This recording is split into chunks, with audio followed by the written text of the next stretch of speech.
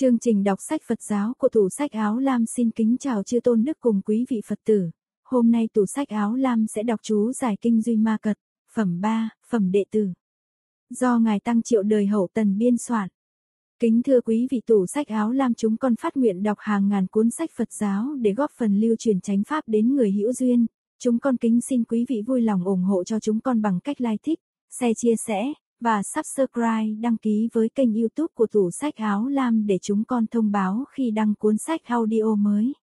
Và bây giờ chúng con xin được bắt đầu đọc. Chú giải kinh Duy Ma Cật. Phẩm 3, đệ tử. Chánh văn, lúc bấy giờ, trưởng giả Duy Ma Cật tự nghĩ rằng. Ta bệnh nằm trên giường. Ngài đạo sinh nói. Tự nghĩ bệnh nằm trên giường là nghĩ đến bệnh mà tự cảm thương. Phàm có thân ắt phải có bệnh, đây là lẽ thường ở thế gian, người liễu đạt tự thể hội được điều này, sao phải cảm thương. Nhưng các trường giả ở thành Tỳ Gia Ly đều đến thăm Phật nghe Pháp, ông Duy Ma theo sự lẽ ra phải đồng đến, nhưng ngại bệnh chẳng tham dự, vì lý này mà dẫn đến thương cảm, cho nên nhờ vào việc diễn Pháp để cầu Phật đến thăm. Chánh văn, Đức Thế Tôn Đại Từ, Đại Bi, há chẳng đoái lòng thương xót ư. Ngài Tăng Triệu ghi, bậc thượng thiện như nước, đọng hay chảy đều thuận với tâm thiện và lòng nhân từ, nên thường tùy thuận để thành tựu mà không tham tiếc. Thiện khởi thì đúng thời, vì thế hợp cơ mà chẳng sai, tự tại sống trên điều xấu của mọi người. Cho nên có thể hiện đồng bệnh như họ. Đức Thế Tôn có lòng đại từ ắt đến thăm bệnh, nhân đó mà hoàng đạo khiến cho chỗ cứu giúp rất nhiều. Đây là bản ý của việc hiện bệnh. Ngài đạo sinh nói, vì có bệnh nên chẳng đến tham dự nghe diệu pháp, vì thế đáng xót thương. Việc đáng xót thương này theo lý phải thân cận, còn theo sự thì đối với việc đáng xót thương cần phải sai người đến an ủi thăm hỏi, mà nay Đức Phật cò lòng đại từ nghĩ đến tất cả, lại chẳng sai đến thăm, há ngài chẳng xót thương ư. Đây là theo thường tình để mong người đến thăm, há còn ở nơi tâm ta ư. Đó là vì chung cho tất cả chúng sinh ở mai sau. Nếu Phật sai người đến, thì những điều tệ hại của bệnh trước kia bỗng chốc hóa thành việc tốt lành hết sao. Điều trái với thường tình như thế thì chẳng đúng. Chánh văn, Đức Phật biết ý nghĩ này liền bảo xá lợi Phất rằng. Ông nên đến thăm bệnh ông Duy Ma Cật. Ngài La Thập nói. Trong Pháp Thanh Văn, thì A-la-hán có trí tuệ vô lậu thù thắng, còn Bồ Tát thì có trí tuệ thù thắng. Trong Đại Thừa thì hai tuệ của Bồ Tát đều thù thắng. Này căn cứ theo Pháp Thanh Văn để nói về Đại Tiểu, nên trước bảo các đệ tử. Ngài xá lợi Phất là bậc có trí tuệ bậc nhất trong hàng đệ tử Phật, vì thế được sai bảo đầu tiên. Biết xá lợi Phất chẳng kham nhận mà còn sai bảo, là muốn hiển thị biện tài của ông Duy Ma thù thắng hầu phát khởi toàn chúng hội, lại sai bảo những vị khác, là vì muốn khiến cho mỗi mỗi khen ngợi đức hạnh cao đẹp của ông Duy Ma, đồng thời nói rõ về trí tuệ biện tài vô cùng của ông ấy. Ở đây nói, yên tỏa, còn bản phạm ghi là, nhiếp thân tâm. Ngài Tăng Triệu nói, Bậc trí nhân tâm rỗng giang thông đạt, theo lý trước phải nhờ vào hình tượng và ngôn ngữ hợp cơ để ngầm ứng, cho nên khiến đến thăm bệnh. Ngài xá lợi Phất là bậc trí tuệ bậc nhất trong 500 đệ tử, nên được sai bảo trước. Như Lai biết đại chúng chẳng kham nhận mà còn sai bảo là vì muốn hiển đức của ông tịnh danh thật vô cùng, để chúng hội sinh tâm kính ngưỡng. Xá lợi là tên của người mẹ Phất, hán dịch là tử, ở thiên trúc phần nhiều lấy tên người mẹ đặt cho tên con. Ngài đạo sinh nói. Nói, biết y nghĩ, tức là đạt được chỉ thú. Ngày hôm nay sai bảo, lẽ ra quy về ngài văn thù, nhưng sai bảo các vị khác là nhờ vào phép tác sai sứ thông thường để hiển đức độ của ông Duy Ma Cật. Đức do đây mà hiển, tức đã tạo thành từ xưa ngày nay ắt phải suy tôn, suy nếu có lý thì lý ấy đáng quý vậy. Ví như mình đã phục đức độ mà nương gá, nghe lý đáng quý trọng, thì đến khi luận về bệnh há chẳng ngộ ư. Phạm phép tắc sai sứ thì phải từ gần đến xa, vì thế trước bảo đệ tử, sau sai Bồ Tát. Ngài xá lợi Phất là bậc đệ nhất, thừa thọ giáo pháp của Như Lai, nên được sai bảo đầu tiên. Chánh văn, xá lợi Phất bạch rằng, bạch Thế Tôn. Con không thể kham nhận đến thăm bệnh ông ấy. Ngài Tăng Triệu nói. Vâng lãnh sứ mệnh của Phật phải là người quan trọng, đại sĩ tịnh danh là bậc có trí tuệ vô lượng, hàng đệ tử chẳng có khả năng kham nhận.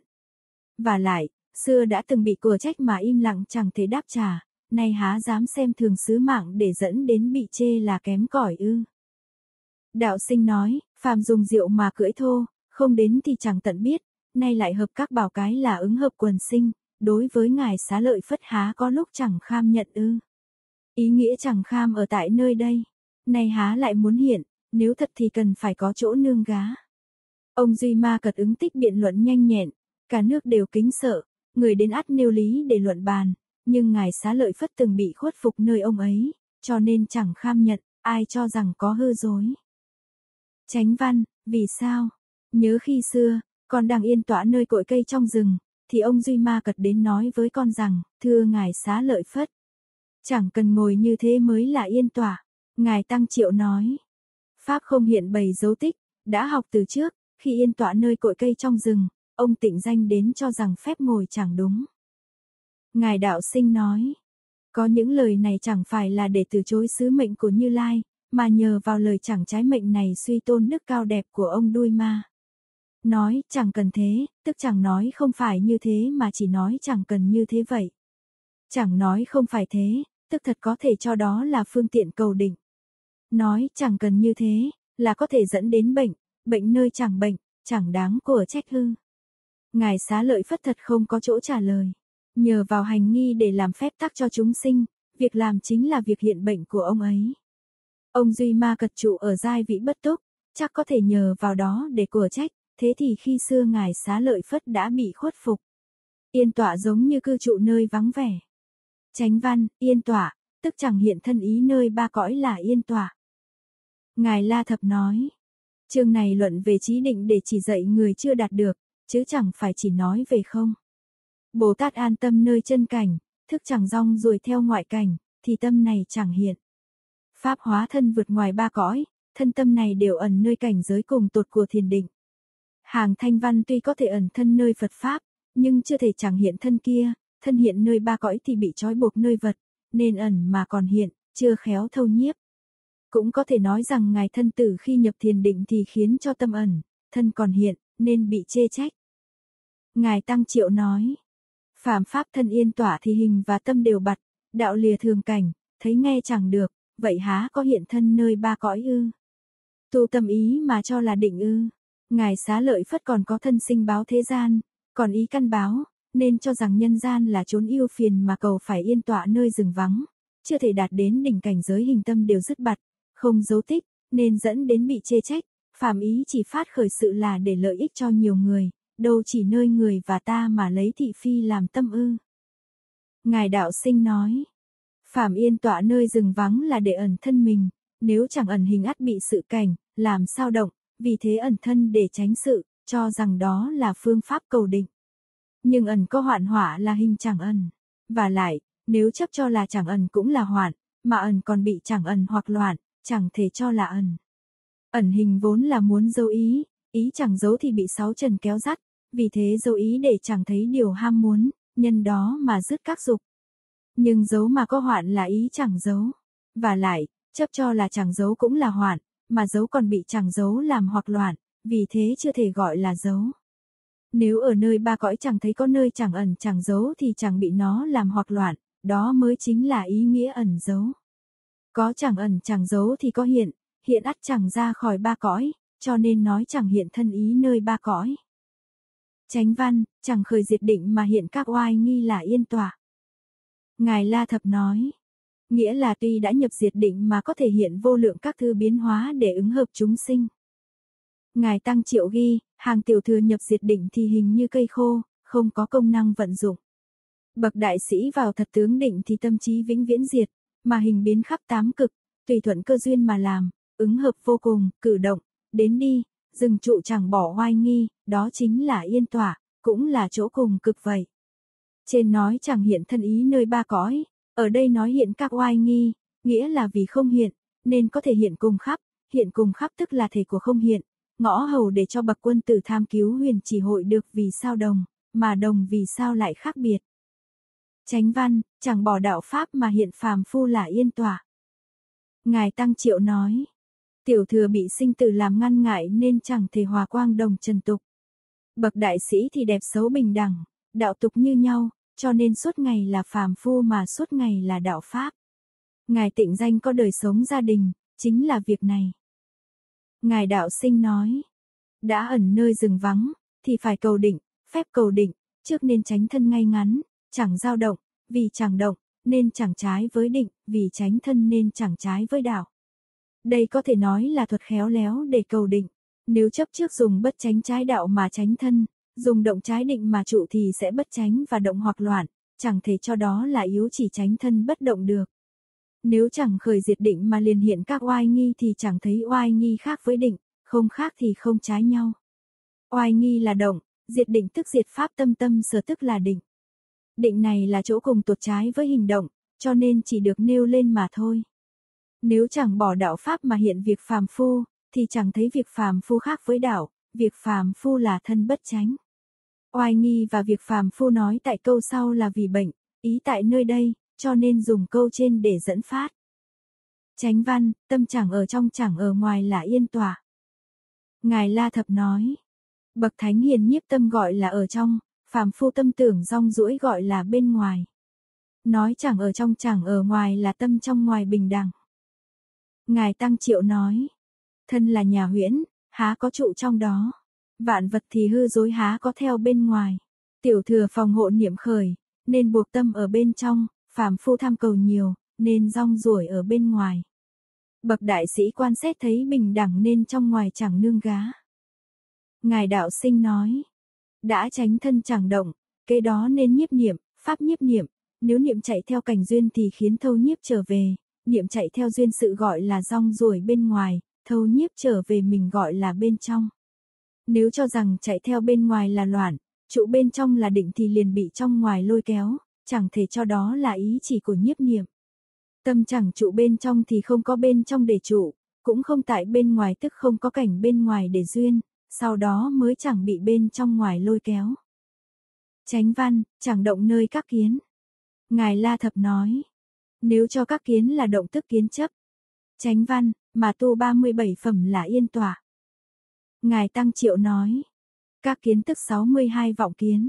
Phàm nếu cho kiến là kiến thì cần phải động, xả bỏ các kiến để tu đạo phẩm, bậc đại sĩ quán chân tánh các kiến là đạo phẩm, cho nên chẳng cần gần thì xả bỏ các kiến, xa thì tu đạo phẩm.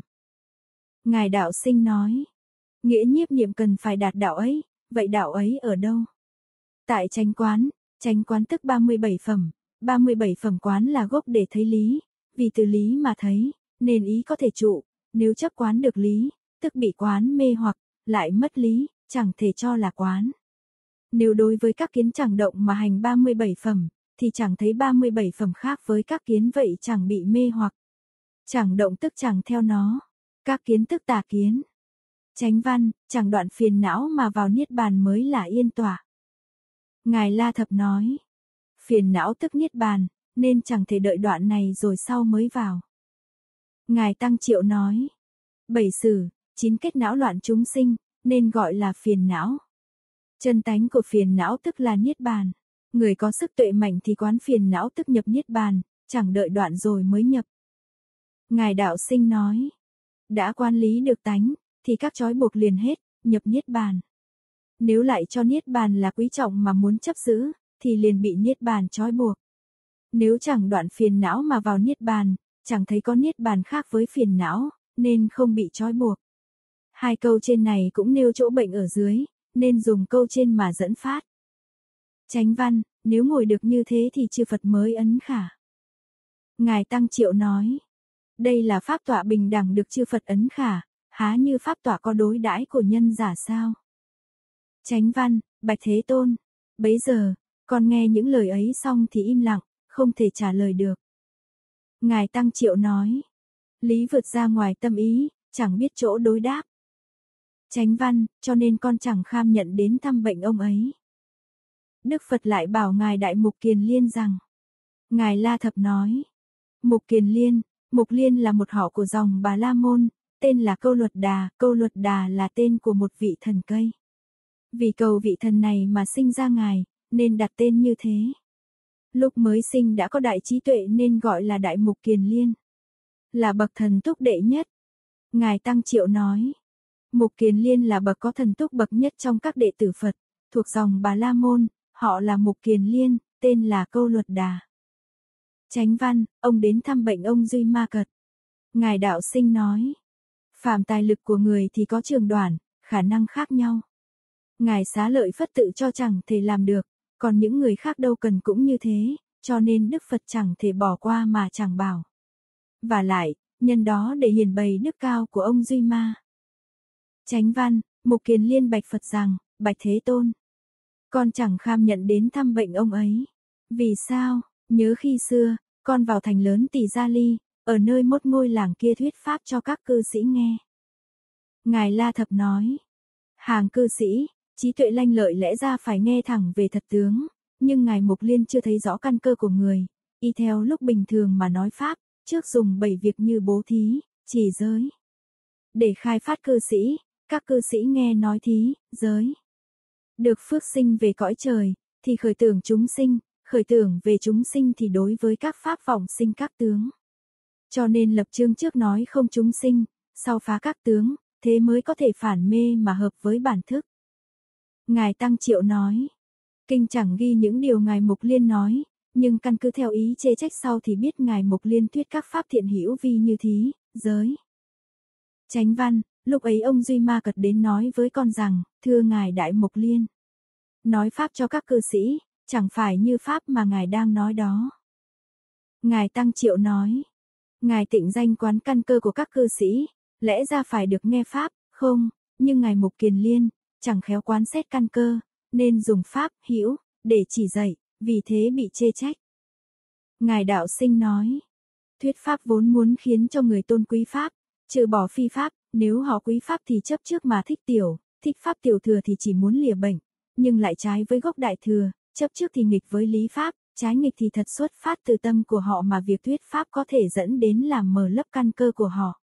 Lại có dấu hiệu thuyết chẳng như pháp, hàng cư sĩ chẳng phải là những người chấp giữ đạo, mong rằng chẳng nghe thuyết lý lìa tục, để không tổn thương bản tâm của họ. Và lại, cư sĩ lấy sự tham trước làm bàn hoài, chẳng thể làm cho họ thấy pháp mà quý trọng để xa lìa tâm tham trước kia. Cho nên nói, thuyết pháp cho các cư sĩ, chẳng phải như pháp mà ngài đã nói. Chánh văn, phạm thuyết pháp thì nên thuyết như pháp. Ngài Tăng Triệu nói, pháp tức là pháp nhất tướng chân thật, nghĩa của pháp sẽ thuật đầy đủ ở văn sau. Chánh văn, pháp không chúng sinh, vì lìa chúng sinh cấu. Ngài La Thập nói, chúng sinh cấu tức 20 thân kiến, vọng kiến chấp giữ các tướng, nhưng pháp rốt giáo vô tướng, theo lý trái với các kiến nên nói là lìa. Từ đầu đến cuối của chương này đều dùng hai nghĩa để nói về rốt giáo không. Hai nghĩa là lìa tướng, lìa kiến. Vì người mê hoặc nói có tướng, cho nên dùng lìa tướng để nói vô tướng. Còn hàng tà đạo tuy có khởi vọng kiến, mà nói pháp vô kiến, cho nên dùng lìa kiến để nói không có tướng kiến do vọng tưởng của họ khởi lên. Từ đây trở xuống phàm có nói, không danh, không thuyết, lìa thức, lìa quán thì cũng giống như lìa kiến vậy.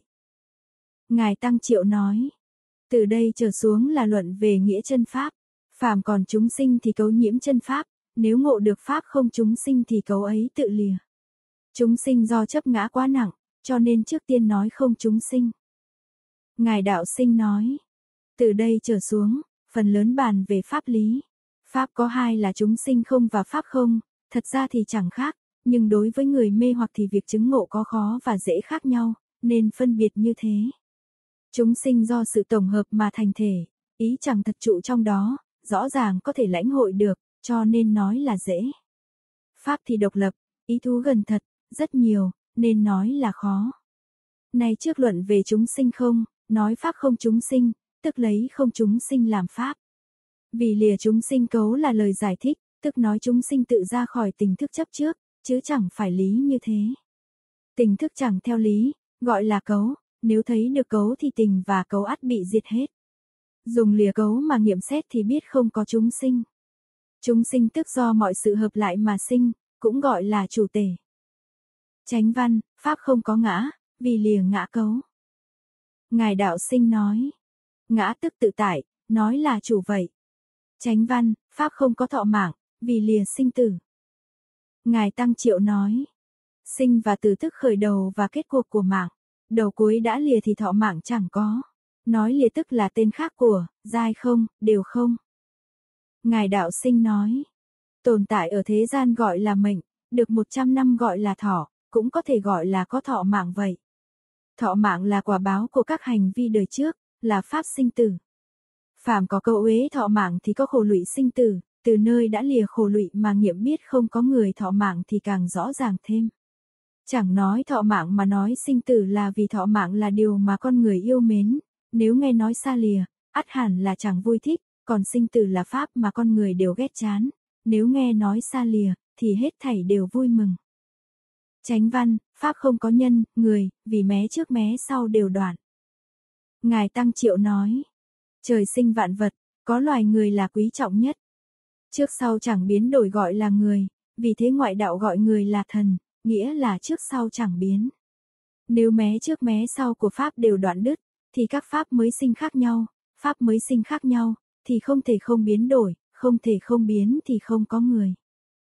Ngài đạo sinh nói, người là một vật có tánh linh so với đất gỗ, là vật có đến đi sống chết, đến đi chắc chắn là vô cùng, nếu đoạn thì càng đáng vui thích. Chánh văn, pháp thường vắng lặng, vì các tướng đều diệt. Ngài Tăng Triệu nói, Phạm có tướng thì những điều sai khác hình thành, những sai biệt hình thành thì thị phi khởi, thị phi đã khởi, thì đâu được vắng lặng. Nếu các tướng đã diệt thì không đâu chẳng vắng lặng. Ngài đạo sinh nói. Bốn câu trên là nói về chúng sinh không, từ đây trở xuống là 26 câu nói về pháp không. Vắng lặng tức là lặng lẽ vô sự, tướng tức là hình dáng của sự, chúng sinh dễ biết, chấp trước thì tướng mê hoặc nặng, vì nó làm câu nhiễm sự sáng tỏ ở bên trong, pháp thì khó ngộ, nếu chấp trước, thì hoặc nhẹ, vì nó làm mê mờ sự hiển hiện ở bên ngoài. tránh văn, pháp lìa tướng, vì không có cảnh duyên. Ngài Tăng Triệu nói, duyên tức tâm duyên, tướng tức là hình ảnh và âm thanh của tâm. Phạm có duyên nên có tướng, không có duyên thì không có tướng. Chánh văn, pháp không danh tự vì nẻo ngôn ngữ đoạn dứt. Ngài Tăng Triệu nói, danh tự sinh từ lời, lời đã đoạn thì cái gì là danh? Chánh văn, pháp không thuyết, vì lìa giác quán. Ngài Tăng Triệu nói, giác quán thuộc về tâm thô, là gốc của ngôn ngữ. Chân pháp vô tướng nên giác quán tự lìa, đã lìa giác quán thì không có ngôn thuyết. Nhị thiền trở lên không còn giác quán, cho nên nói thánh hiền im lặng. Chánh văn, pháp không hình tướng, vì như hư không. Ngài Tăng Triệu nói, vạn pháp có vạn hình, vạn hình thì sinh vạn tướng. Chánh văn, pháp không hí luận, vì rốt giáo không. Ngài Tăng Triệu nói, chân cảnh thì không lời, nếu có luận bàn thì đều rỗng xuông, diệu tuyệt ngôn cảnh mới là rốt giáo không. Chánh văn, pháp không ngã sở, vì liền ngã sở. Ngài Tăng Triệu nói, trên đã nói là vô ngã, đây nói vô ngã sở. Tất cả các pháp ngoài tự ngã đều gọi là ngã sở. Chánh văn, pháp không phân biệt vì lìa các thức. Ngài Tăng Triệu nói, phân biệt sinh từ thức. Chánh văn, pháp không có so sánh, vì không đối đãi. Ngài Tăng Triệu nói, các pháp đối đãi nhau mà sinh, giống như dài ngắn đối đãi nhau mà hình thành. Chánh văn, pháp chẳng thuộc nhân, vì chẳng tại nơi duyên. Ngài La Thập nói, lực mạnh là nhân, lực yếu là duyên. Ngài Tăng Triệu nói, trước sau nương nhau mà sinh tức là nhân, sức trợ giúp để thành hiện tướng gọi là duyên. Các pháp cần phải có nhân duyên nương giúp nhau, sau đó mới thành lập được.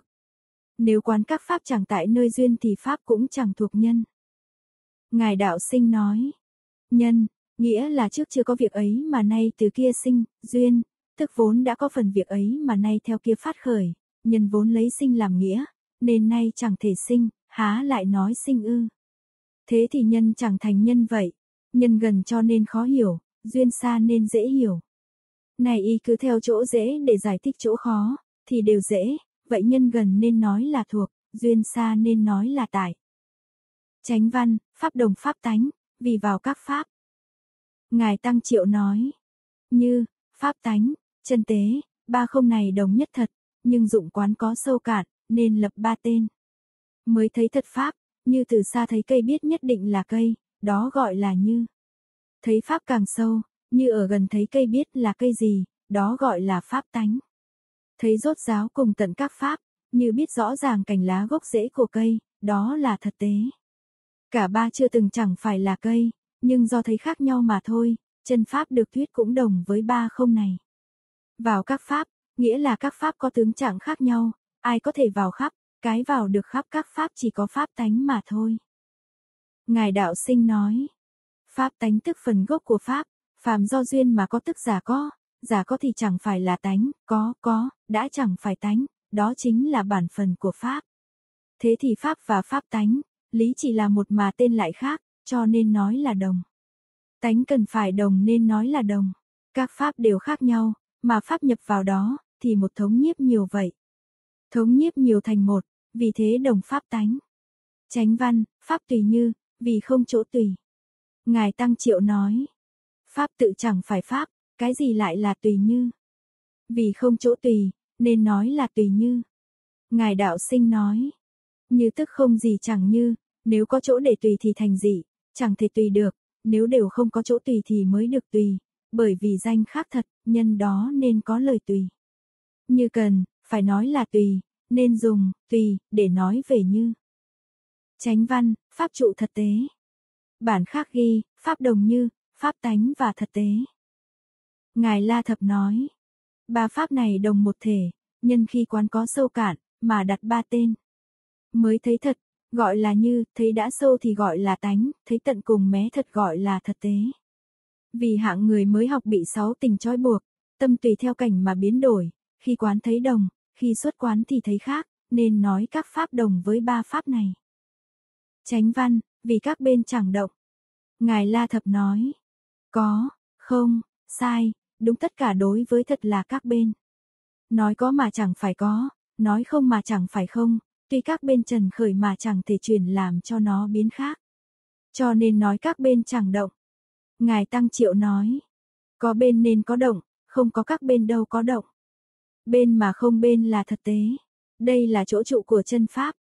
Ngài Đạo Sinh nói, các bên hữu vô, chẳng thể biến cải các pháp, khiến pháp thay đổi, thế thì không có bờ mé, bờ mé không bờ mé chính là mé thật thật tế. Pháp bất động trụ ở nơi đây. Chánh văn, pháp chẳng lay động, vì chẳng nương sáu trần. Ngài Tăng Triệu nói, sáu tình y cứ vào sáu trần nên có sự dao động, pháp vốn không nương gá nên không dao động. Ngài Đạo Sinh nói, sáu trần mỗi mỗi đều có chủ, về mặt sự thì chúng khuynh đoạt lẫn nhau nên có nghĩa dao động. Đã có dao động thì liền thành sai biệt, mà chẳng phải là thật. Chánh văn, pháp không khứ lai, vì thường chẳng trụ. Ngài Tăng Triệu nói, nếu pháp thường trụ, thì sẽ từ vị lai đến hiện tại, từ hiện tại về quá khứ, pháp trải qua ba thời thì có khứ lai, vì pháp không thường trụ nên không khứ lai, đến đi. Chánh văn, pháp thuận không? Ngài đạo sinh nói, nếu chấp trước thì trái với lý quá xa, cho nên đối với, không cần phải thuận. Chánh văn, vì tùy vô tướng. Ngài đạo sinh nói, không tựa như có tướng không, nhưng không nếu có không thì thành có, chẳng thể cho là không, nên nói vô tướng. Đã thuận thì phải tùy vô tướng. Chánh văn, ứng với vô tác. Ngài Tăng Triệu nói, đồng với ba không. Ngài Đạo Sinh nói, ngăn trừ để thành vô tướng, tựa như có ý tạo tác, nếu có ý tạo tác thì chẳng hợp lý, nên nói vô tác. Đã thuận không, tùy vô tướng thì sẽ ngầm hợp với vô tác. Chánh văn, pháp lìa tốt xấu, pháp không tăng giảm, pháp không sinh diệt, pháp không chỗ về, pháp vượt ngoài mắt, tai, mũi, lưỡi, thân, tâm. Ngài Tăng Triệu ghi, vượt ngoài cảnh thường, chẳng phải là nơi mà sáu tình có thể vịn đến. Chánh văn, pháp không cao thấp, pháp thường trụ bất động. Ngài Tăng Triệu nói, chân pháp thường trụ, hiền thánh cũng chẳng thể rời đổi nó được. Chánh văn, pháp lìa tất cả quán hạnh. Ngài Tăng Triệu nói, pháp vốn vô tướng, chẳng phải là chỗ thấy của quán hạnh, cái có thể thấy được pháp chỉ là vô quán mà thôi. Chánh văn, thưa ngài Mục Kiền Liên, pháp tướng như thế, há có thể nói được ư? Ngài Tăng Triệu nói, tâm quán còn chẳng thể biết, hà huống là ngôn thuyết. Chánh văn, phàm người thuyết pháp thì không thuyết không chỉ, người nghe pháp thì không nghe không đắc. Ngài Tăng Triệu nói, không thuyết chứ nào nói không lời, nghĩa là thường không nơi pháp được thuyết, không nghe chứ nào nói chẳng có nghe, nghĩa là thường không nơi pháp được nghe kia. Không nơi pháp được thuyết thì suốt ngày thuyết mà chưa từng thuyết. Không nơi Pháp được nghe thì suốt ngày nghe mà chưa từng nghe.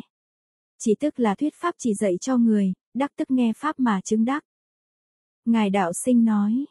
Pháp đã nói như ở trước, thì có gì để thuyết. Và lại, đây đã không thuyết thì kia há có nghe ư. Chánh văn, ví như nhà huyễn thuật thuyết Pháp cho người huyễn nghe, thì nên lập ý thế nào mà thuyết Pháp. Ngài Tăng Triệu nói, nên như người huyễn, dùng vô tâm mà thuyết. Chánh văn, nên biết căn cơ chúng sinh có lợi độn.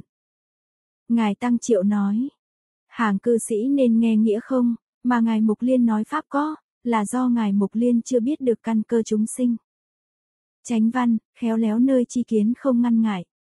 Ngài Tăng Triệu nói, thuyết có mà chẳng luận đến không, đó là do chi kiến vô ngại đối với các pháp của Ngài chưa hoàn toàn khéo léo. Chi kiến vô ngại tức là trí thật tướng.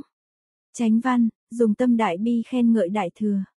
Ngài Tăng Triệu nói, tự xả bỏ nghĩa không mà có chỗ để thuyết thì đều chẳng phải là tán thán đại thừa, chẳng phải Hoàng Dương tán thán đạo đại thừa chẳng có tâm đại bi.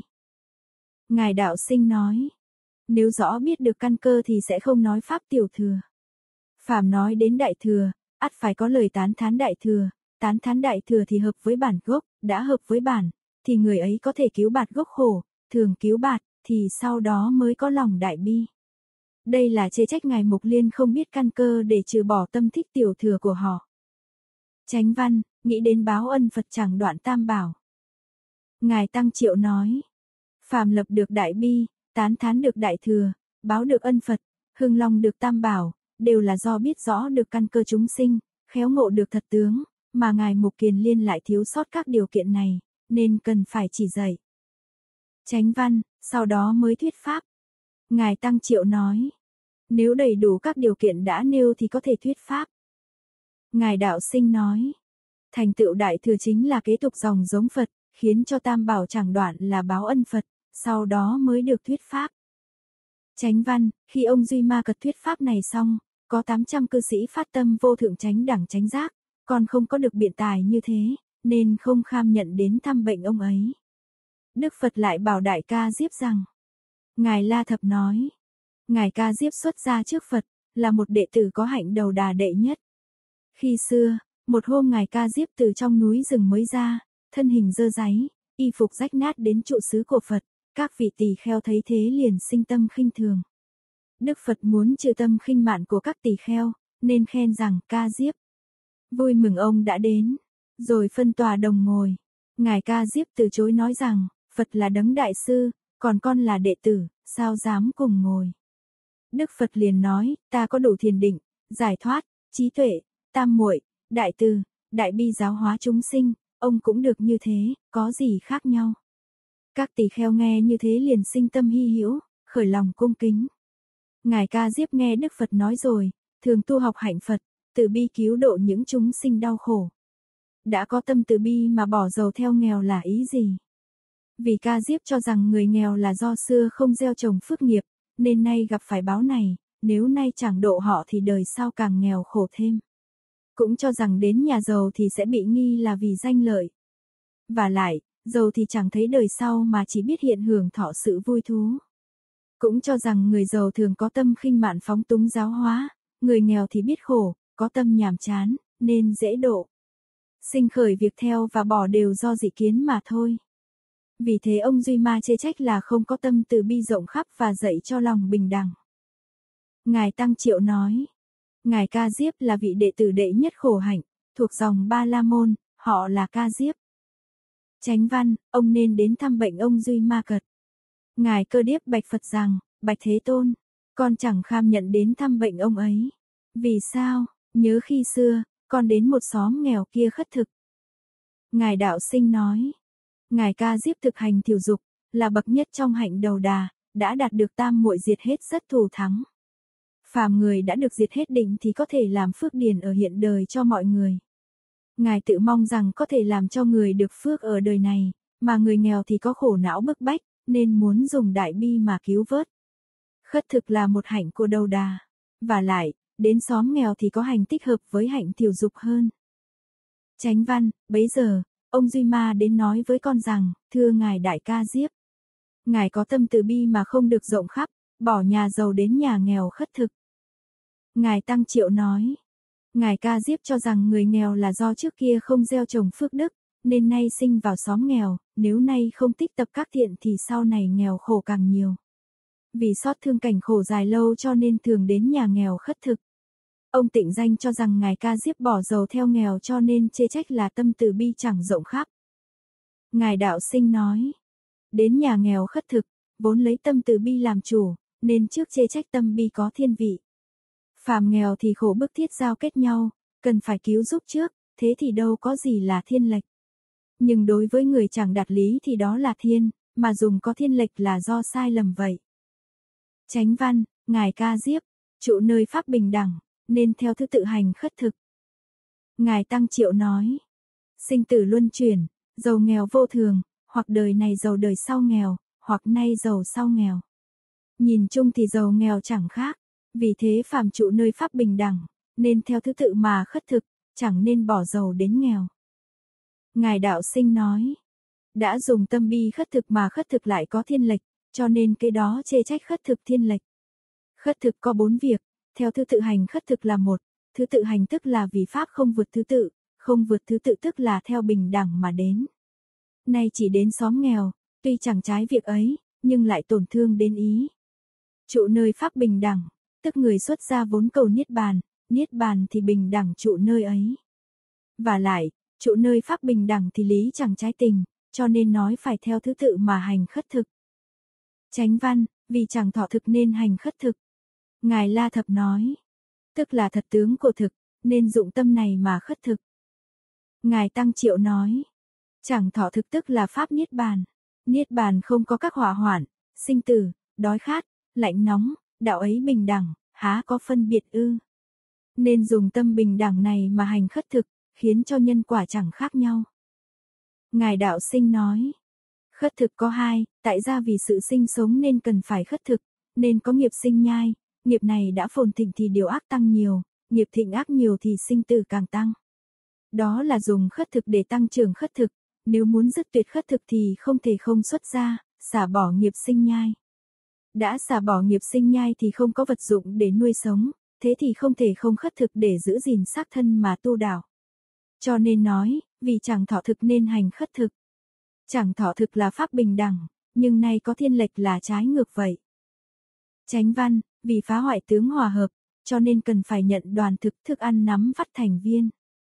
Ngài La Thập nói, tướng hòa hợp là đoàn thực, thức ăn có bốn loại. Đoàn thực, nguyện thực, như thấy bao cát mà sinh mạng chẳng tuyệt, là nguyện thực. Nghiệp thực, như chúng sinh ở địa ngục chẳng ăn mà vẫn sống, đó là do tội nghiệp nên người ấy cần phải sống để chịu thống khổ dài lâu. Thức thực, chúng sinh ở cõi vô sắc thức tưởng tương tục. Hoại tướng hòa hợp tức là thật tướng, khiến họ dùng tâm này mà hành khất thực. Ngài Tăng Triệu nói, nằm ấm và đoàn thực đều có tướng hòa hợp. Hoại tướng hòa hợp của năm ấm tức là niết bàn, nên dùng tâm này mà nhận phát cơm, đoàn thực nếu thế thì suốt ngày nhận đoàn thực, suốt ngày niết bàn. Ngài Đạo Sinh nói, nhận lấy đoàn thực gồm ba nghĩa, phàm thức ăn ở cõi dục là đoàn thực, đoàn thực tức là thức ăn nắm vắt thành viên suyệt nắm, vắt lại thành viên là vật hòa hợp. Vì tùy nghĩa mà gọi như thế. Hoại hòa hợp, tức là phá hoại sự hòa hợp của năm ấm. Niết bàn tức là năm ấm hủy hoại. tránh văn, vì chẳng thọ nhận, cho nên nhận thức ăn của người. Ngài Tăng Triệu nói, chẳng thọ nhận cũng là pháp niết bàn. Phàm vì niết bàn mà hành khất thực, nên dùng tâm chẳng thọ nhận mà nhận thức ăn của người, thế thì suốt ngày nhận mà chưa từng có nhận. Ngài đạo sinh nói, vì thọ có bốn, nói chẳng thọ nhận tức chẳng thọ nhận sinh tử. Chánh văn, vì tưởng, không tụ, mà vào các thôn xóm. Ngài Tăng Triệu nói, không tụ, làng vắng cũng là tướng niết bàn. Phàm vào làng xóm, nên giữ tưởng này, nếu thế thì suốt ngày là làng xóm mà suốt ngày là làng vắng. Ngài đạo sinh nói, kế đó chê trách ngài ca diếp hành hạnh thiểu dục, nếu thấy có người kia giàu người này nghèo rồi bỏ giàu, đến nghèo mà cho là thiểu dục, thì đó là thấy ác nhiều, thấy ác nhiều thì tránh khỏi nhiều, thế thì chẳng thể gọi là thiểu được. Vì thế dùng tưởng không tụ mà vào làng xóm, chớ nên thấy có người giàu nghèo. tránh văn, thấy sắc như mù. Ngài Tăng Triệu nói, nhị thừa chán ghét sinh tử, sợ hãi sáu trần, cho nên dạy họ dùng bình đẳng quán. Nói mù, tức chẳng thấy đẹp xấu khác nhau, chứ chẳng phải nói nhắm mắt không thấy. Ngài đạo sinh nói, tham dục của sáu trần rất nhiều, nếu có thể, không, ở nơi đó, thì sau mới tránh khỏi được. Tránh văn, nghe âm thanh như vang. Ngài Tăng Triệu nói, chưa có việc vì tiếng vang của núi mà dẫn đến vui, giận. Tránh văn, người mùi cũng như gió. Ngài Tăng Triệu nói, thơm hôi nhân nơi gió, mà gió thì chẳng có thơm hôi, nắm bắt thì chẳng giữ được. Tránh văn, nếm vị thì không phân biệt. Ngài La Thập nói, Pháp không có định tánh, do phân biệt chấp tướng gọi đó là vị, nếu chẳng phân biệt thì chẳng có vị, tuy có nếm mà nên như bản tướng. Tránh văn, xúc chạm như chi chứng. Ngài La Thập nói, nghĩa chẳng đồng như xúc, khi xúc chạm nên như dùng trí mà xúc chạm thật tướng. Ngài Tăng Triệu nói, được lậu tận trí, vô sinh trí, tự chứng thành Phật đạo, toàn thân nhẹ nhàng khoan khoái mà chẳng sinh chấp trước, thân nhận sự xúc chạm cũng nên như thế. Ngài đạo sinh nói, tiếng phạm thì từ trí chứng và xúc có âm gần giống nhau, cho nên lấy đó làm dụ. Niết bàn là cảnh giới chứng ngộ của trí. Chánh văn, biết các pháp như tướng huyễn, không có tự tánh, không có tha tánh. Ngài La Thập nói, nắm ngón tay thành quyền, cho nên không có tự tánh, các ngón tay cũng như thế, nên không phải tha tánh. Ngài Tăng Triệu nói, các pháp như huyễn, từ nhân duyên sinh, há có tự tha để được ư? Phạm có tự nên có tha, có tha nên có tự, không có tự thì không có tha, không tha thì cũng không tự. Chánh văn, xưa vốn chẳng sinh thì nay chẳng diệt. Ngài La Thập nói, Ngài Ca Diếp cho rằng diệt sinh tử thì có thể làm phước điền, cho nên dùng chẳng sinh để nói về không diệt, hầu dứt trừ kiến giải kia. Ngài Tăng Triệu nói, như lửa có cháy thì có tắt, pháp tánh thường không, vốn tự chẳng khởi, thì nay nào có diệt, giống như giải thích pháp sở đối của ý. Ngài đạo sinh nói, từ tha sinh nên không có tự tánh, đã không có tự tánh, há có tha tánh ư. Thế thì vốn tự chẳng sinh thì nào có diệt, vì thế nói như huyễn. Chánh văn, này ca diếp, nếu chẳng thể xả tám tà vào tám giải thoát. Ngài Tăng Triệu nói, tám tà và tám giải thoát, bản tánh là thường nhất, khéo quán tám tà tức là vào tám giải thoát, há bỏ tà mà cầu tám giải thoát được ư. Nếu có thể như thế, gọi là vào giải thoát. Ngài đạo sinh nói. Sau cùng là chê trách ngài ca diếp dùng diệt hết định để làm phước điền cho người là chẳng thể được. Nếu dùng định mà muốn làm phước điền cho người, thì diệt hết định khác với tám tà, vậy đã có dị tâm thì chẳng thể làm phước điền. Nếu có thể chẳng bỏ tám tà mà vào tám giải thoát, thì chẳng khác dị tâm. Tránh văn, dùng tướng tà mà vào tránh pháp. Ngài Tăng Triệu nói, nếu bản tánh thường nhất thì tà tránh nhập vào nhau, chẳng trái các tướng. Ngài Đạo Sinh nói, trước nói tám việc, còn nay thì nói nghĩa tà tránh. Tránh văn, dùng một bữa ăn mà ban cho tất cả, cúng dường chư Phật và các hiền thánh, sau đó mới thọ thực.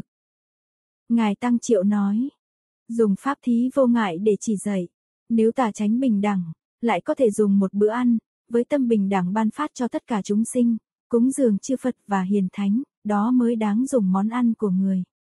Bố thí vô ngại nghĩa là phàm được thức ăn, đầu tiên cần phải khởi tâm ban cho tất cả chúng sinh, sau đó mới được thọ thực. Nếu được pháp thân thì luôn chân thật làm cho đầy đủ tất cả, như một bát cơm nói ở sau. Nếu chưa được pháp thân thì chỉ khởi tâm bình đẳng ban phát tất cả, đó là pháp bố thí vô ngại. Ngài đạo sinh nói, khất thực được nhiều mà ở nơi chúng, thì trước nên phân cho các thượng hạ tọa, đó là cúng dường. Nếu bình đẳng giải thoát thì không đâu không cúng dường. Sức mình đã được như thế thì sau mới có thể làm phước điền cho người. Chánh văn, thọ thực như thế, chẳng có phiền não chẳng liệp phiền não. Ngài Tăng Triệu nói, có phiền não mà thọ thực là hàng phàm phu, liệp phiền não mà thọ thực là nhị thừa. Nếu có thể bình đẳng thọ thực như đã nói thì đó là thọ thực của pháp thân, tức chẳng có phiền não mà thọ thực, chẳng lìa phiền não mà thọ thực. Ngài đạo sinh nói, đã nhận thức ăn mà thọ thực rồi lẽ ra phải đắm trước các vị sinh phiền não, nhưng vì tâm giải thoát mà thọ thực, thì không sinh phiền não, nên nói chẳng có phiền não, đã không có phiền não. Và lại, chẳng thấy cơ lìa. Chánh văn, chẳng nhập định ý, chẳng khởi định ý. Ngài Tăng Triệu nói, hàng tiểu thừa nhập định thì chẳng thọ thực, thọ thực thì chẳng nhập định, còn pháp thân đại sĩ thì suốt ngày thọ thực mà suốt ngày nhập định, nên không có danh từ xuất nhập. Ngài đạo sinh nói, theo pháp thọ thực của tỳ kheo, thì khi thọ thực phải thực hành pháp quán bất tịnh mà quán thức ăn. Tuy nhập định này nhưng chẳng thấy có nhập, chẳng thấy có nhập thì chẳng nhập định chẳng xuất định. Chánh văn, chẳng trụ thế gian, chẳng trụ niết bàn. Ngài Tăng Triệu nói, muốn nói trụ thế gian, thì pháp thân bạt thế tục, muốn nói trụ niết bàn thì hiện thọ thực đồng với thế tục. Ngài Đạo Sinh nói, thức ăn đầy đủ cho thân thì mệnh tồn tại trụ ở thế gian, mệnh đã tồn tại ở thế gian, thì hành đạo để đạt đến niết bàn, cho nên chẳng trụ ở cả hai. Chánh văn, người bố thí. Ngài La Thập nói, cho đến chẳng nương vào thanh văn, đó là điều mà thí chủ đạt được. Chánh văn, không được phước lớn, không có phước nhỏ, chẳng được lợi ích, chẳng bị tổn hại. Ngài Tăng Triệu nói, nếu có thể dùng tâm bình đẳng thọ thực, thì có giáo pháp bình đẳng, có giáo pháp bình đẳng thì thí chủ đồng đạt được sự bình đẳng, không tính đến sự lớn nhỏ của phước, sự ích lợi hay tổn hại tự kỳ. Ngài đạo sinh nói, người tu bình đẳng thì được quả báo bình đẳng, nên thí chủ cũng chẳng thấy có phước lớn nhỏ. Chánh văn, đó chính là vào Phật đạo, chẳng nương theo hạnh thanh văn. Ngài Tăng Triệu nói, bình đẳng khất thực thì được tự lợi và lợi tha, nên chân tránh vào Phật đạo mà chẳng nương vào đạo thanh văn. Ngài đạo sinh nói, được quả báo bình đẳng thì chẳng thiên lệch về tiểu thừa. Chánh văn, thưa ngài ca diếp, nếu thọ thực như thế thì chẳng luống uổng thức ăn của người. Ngài Tăng Triệu nói, tức thọ thực ắt phải có ích lợi. Ngài Đạo Sinh nói, nói ắt có thể làm phước điền cho người, thế thì chẳng phải chỉ cứu giúp kẻ bần khổ mà rốt cuộc còn được quả đại thừa. Chánh văn, Bạch Thế Tôn, bấy giờ, con nghe những lời ấy thì đạt được điều chưa từng có, liền khởi tâm cung kính tất cả các Bồ Tát, và tự nghĩ rằng, người này là một cư sĩ đầy đủ trí tuệ biện tài mới có thể được như thế, ai nghe mà chẳng phát tâm vô thượng Bồ Đề. Ngài Tăng Triệu nói, bấy giờ, cho rằng một đại sĩ tại gia mà trí tuệ biện tài còn như thế, thì ai mà chẳng phát tâm vô thượng. Chánh văn, từ nay về sau con chẳng dạy cho người hạnh thanh văn và bích chi Phật. Ngài Tăng Triệu nói, vừa biết được pháp nhị thừa kém, liền chẳng dùng để dạy cho người. Chánh văn, vì thế con chẳng kham nhận đến thăm bệnh ông ấy. Chánh văn, Đức Phật bảo tu bồ đề. Ngài La Thập nói, tu bồ đề, hán dịch là thiện nghiệp là đệ tử đệ nhất về giải không? Vì sao ngài thiện nghiệp đến nhà cư sĩ để dẫn đến bị lỗi lầm? Là vì có nguyên do mà đến, cũng có nguyên do mà bị lỗi lầm. Nay xin dùng dụ để giải thích, ví như một người thiện xả, bắn không bao giờ sai tuy nhẹ nhàng nhanh nhẹn, nhưng chẳng thể đến được nhà kia, giống như ông Duy Ma cật trí tuệ biện tài rất sâu xa, lời nói chẳng bao giờ phạm lỗi, cho nên được 500 thanh văn chẳng dám đến nhà ông. Ngài thiện nghiệp tự cho rằng, trí tuệ đã đạt sâu xa, biện tài đầy đủ, ứng thời, cho nên thẳng đến mà chẳng nghi ngại gì, đây là ý nghĩa của việc đến nhà. Nhưng ngài thiện nghiệp, lúc nhập quán thì tâm thuận với pháp tướng, khi xuất định thì tình theo sự mà truyền, dẫn đến phạm lỗi, đây là lý do bị khuất phục. Ông Duy Ma biết rằng thiện nghiệp tự cho đã thâm nhập, nhưng lại trái với bình đẳng, cho nên chương này, lời văn thì gần gũi, chỉ thú sâu xa vậy. Các vị thanh văn thể hội chưa đầy đủ, nên mỗi vị có một khả năng riêng biệt, do mỗi vị có khả năng riêng biệt nên gọi là đệ nhất, 500 vị đều được gọi là đệ nhất. Trên bốn vị thanh văn đều là những vị có đức đặc biệt có thể ban cho người cúng dường phước báo ở hiện đời, nên đặc biệt gọi là bốn đại thanh văn, còn các vị thanh văn khác không có đức này, chỉ gọi là đệ nhất mà chẳng gọi là đại. Ngài Tăng Triệu nói, tu bồ đề, hán dịch là thiện cắt là bậc giải không đệ nhất trong hàng đệ tử Phật. Chánh văn, ông nên đến thăm bệnh ông Duy Ma Cật. Tu bồ đề bạch Phật rằng, bạch Thế Tôn, con chẳng kham nhận đến thăm bệnh ông ấy. Vì sao, nhớ khi xưa con đến nhà ông ấy khất thực, Ngài Đạo Sinh nói. Ngài tu bồ đề được vô tránh tam muội là bậc nhất trong chúng đệ tử. Vô tránh tam muội đã giải không thì không còn nơi để tranh luận gọi là vô tránh.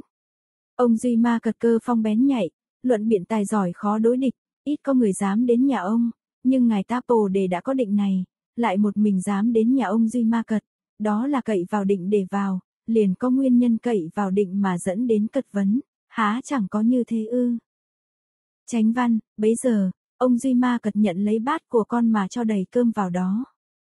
Ngài đạo sinh nói, ông Duy Ma cật hiện thân là cư sĩ có sự hiểm nghi là bỏn sẻn, nếu chưa cho thức ăn mà cật vấn, thì mọi người sẽ cho ông là như thế, nên trước nhận bát bới đầy cơm, nhưng chưa trao lại cho ngài tu bổ đề, vì sợ được cơm rồi liền đi, mà không thể nghe hết được sự luận bàn. tránh văn, và nói với con rằng, thưa ngài tu bổ đề. Đối với thức ăn bình đẳng thì Pháp cũng bình đẳng. Ngài đạo sinh nói, ví như cậy vào định mà đến thì chẳng bình đẳng đối với định, đây là dùng thức ăn để cật vấn mà nêu ra đối với thức ăn cũng không bình đẳng. Nếu không bình đẳng nơi thức ăn thì há có bình đẳng nơi định ư? Vậy đều không có gì bình đẳng, đã không có bình đẳng, thì làm sao có định bình đẳng để nương cậy? Chánh văn, nếu các pháp bình đẳng thì đối với thức ăn cũng bình đẳng. Ngài đạo sinh nói, lại trình bày lời văn trước, về thức ăn thì sự tuy thô cạn nhưng lý của nó thật phi diệu, cần phải đạt được bình đẳng đối với các pháp, sau đó mới có thể bình đẳng với thức ăn. Chánh văn, thực hành khất thực như thế mới được nhận lấy thức ăn. Ngài Tăng Triệu nói, Ngài tu bồ để cho rằng hàng trưởng giả giàu có, phóng túng, tâm tham lam bỏn sẻn, chẳng nghĩ đến vô thường, nay tuy sung sướng sau ắt phải nghèo khổ, thương xót sự mê muội ấy, nên thường hay đến đây để khất thực. Kế đó thì vào nhà ông tịnh danh, ông tịnh danh liền nhận lấy bát đầy cơm, trong thời gian chưa trao lại bát đã chê trách ngài tu bồ đề không bình đẳng. Nói rằng vạn pháp đều đồng nhau y cứ một pháp thì có thể biết tất cả, nếu đối với thức ăn bình đẳng thì các pháp cũng bình đẳng. Nếu đối với các pháp mà bình đẳng thì thức ăn cũng bình đẳng, y cứ theo đây mà hành khất thực thì mới có thể nhận thức ăn. Há vì bỏ nghèo đến giàu mà sinh khởi ý tưởng có khác biệt ư? Ngài đạo sinh nói, nói dụng tâm như thế mới có thể nương cậy mà thọ nhận thức ăn của tôi, nghĩa là nếu chẳng như thế thì không nên nhận. Chánh văn, thưa ngài tu bồ đề, nếu chẳng đoạn dâm, nộ, si, và chẳng cùng chung với nó. Ngài La Thập nói, đạt được chân tánh của nó thì có mà không, có mà không thì không có gì để đoạn, cũng không có gì, cho nên không đoạn mà cũng không cùng chung. Ngài Tăng Triệu nói, đoạn dâm, nộ, si là hàng thanh văn, cùng chung với dâm, nộ, si là phàm phu. Bậc đại sĩ quán dâm, nộ, si tức niết bàn nên chẳng đoạn mà chẳng cùng chung. Nếu người được như thế mới có thể nhận thức ăn. Ngài đạo sinh nói, Ngài tu bồ đề là người đã đoạn dâm, nộ, si. Nguyên vì ngài cậy vào định thì ắt đã đoạn mà chẳng cùng chung, nên căn cứ theo đó để vấn cật. Theo ý cật vấn thì có thể đã chuyển thành ý khuyên bảo tận tình thiết tha. Nếu cho rằng đoạn là chẳng cùng chung thì không chỉ có định bình đẳng mà còn chẳng thể đoạn dâm, nộ, si. tránh văn, chẳng hoại thân thể mà tùy nhất tướng ngài La Thập nói. Thân tức nhất tướng, chẳng đợi thân hoại mà tùy. Ngài Tăng Triệu nói, vạn vật đồng một chỉ thú, thị phi đồng quán nhất tướng, thế thì thân tức nhất tướng, há đợi hoại thân diệt thể, sau đó mới cho là một tướng ư. Thân tức thân năm ấm. Ngài đạo sinh nói, người đoạn dâm, nộ, si thì thân hoại mạng chung vào niết bàn. Niết bàn thì không có vô lượng thân tướng mà là nhất tướng. Chẳng hoại thân, thì tựa như trái ngược, cho nên nói là tùy. Chánh văn, chẳng diệt si ái mà khởi minh thoát. Ngài Tăng Triệu nói. Hàng thanh văn vì si che mở trí nên diệt si thì minh, sáng, vì ái buộc tâm nên dứt ái thì giải thoát. Bậc đại sĩ quán chân tướng của si ái tức là minh và giải thoát, cho nên chẳng diệt si ái mà khởi trí minh và giải thoát. Ngài đạo sinh nói, thân vốn từ si ái mà có, cho nên cái đó phải đề cập. Chẳng bị si che lấp là minh, chẳng bị ái trói buộc là thoát. Chánh văn, dùng tướng ngũ nghịch mà được giải thoát, cũng chẳng mở chẳng trói buộc. Ngài Tăng Triệu nói, chân tướng của ngũ nghịch là giải thoát, há có trói buộc, giải thoát khác nhau ư. Tội năm nghịch là nặng nhất, đạo giải thoát là thù thắng nhất, nếu có thể ngay nơi tướng ngũ nghịch mà được giải thoát, thì mới có thể nhận thức ăn của người. Ngài đạo sinh nói, đã nói nơi trói buộc được giải thoát, mà năm nghịch là cùng tột của sự trói buộc, cho nên nói như thế. Đó tức là giải thoát mà chẳng giải thoát, trói buộc mà chẳng trói buộc. Chánh văn, chẳng thấy bốn đế, chẳng phải chẳng thấy các đế. Ngài Tăng Triệu nói, chân thật thấy bốn đế, chẳng phải như cái thấy của hữu tâm, cũng chẳng phải như cái không thấy của vô tâm. Chánh văn, không đắc quả, cũng chẳng phải không đắc quả. Ngài đạo sinh nói, nơi trói buộc được giải thoát là công năng của kiến đế, nên phải luận đến. Chẳng phải chẳng thấy đế là đắc quả, cho nên phải giải thích. Chánh văn, chẳng phải phàm phu, chẳng lìa pháp phàm phu. Ngài Tăng Triệu nói, quả tức các đạo quả, vì chẳng thấy bốn đế nên chẳng đắc quả, chẳng phải chẳng thấy các đế, nên chẳng phải phàm phu. Tuy chẳng phải phàm phu mà chẳng lìa pháp phàm phu, đó chính là đạo bình đẳng. Ngài đạo sinh nói, thấy đế là do nơi người, cho nên nay lại luận đến người. Chánh văn, chẳng phải thánh nhân, chẳng phải chẳng thánh nhân. Ngài Tăng Triệu nói, chẳng lìa pháp phàm phu thì chẳng phải là thánh nhân, đạo vượt ngoài ba cõi thì chẳng phải chẳng thánh nhân. Chánh văn, tuy thành tựu tất cả pháp mà lìa tướng của các pháp. Ngài Tăng Triệu nói, chẳng bỏ pháp ác mà theo pháp thiện, thì tất cả các pháp, nơi đâu mà chẳng thành. Các pháp tuy thành mà lìa tướng của nó, vì lìa tướng thì đẹp xấu do đây thành tựu. Ngài đạo sinh nói, người ắt phải thành tựu nơi pháp, cho nên phải đạt đến cùng cực thế lực của nó. Chánh văn, mới có thể thọ nhận thức ăn.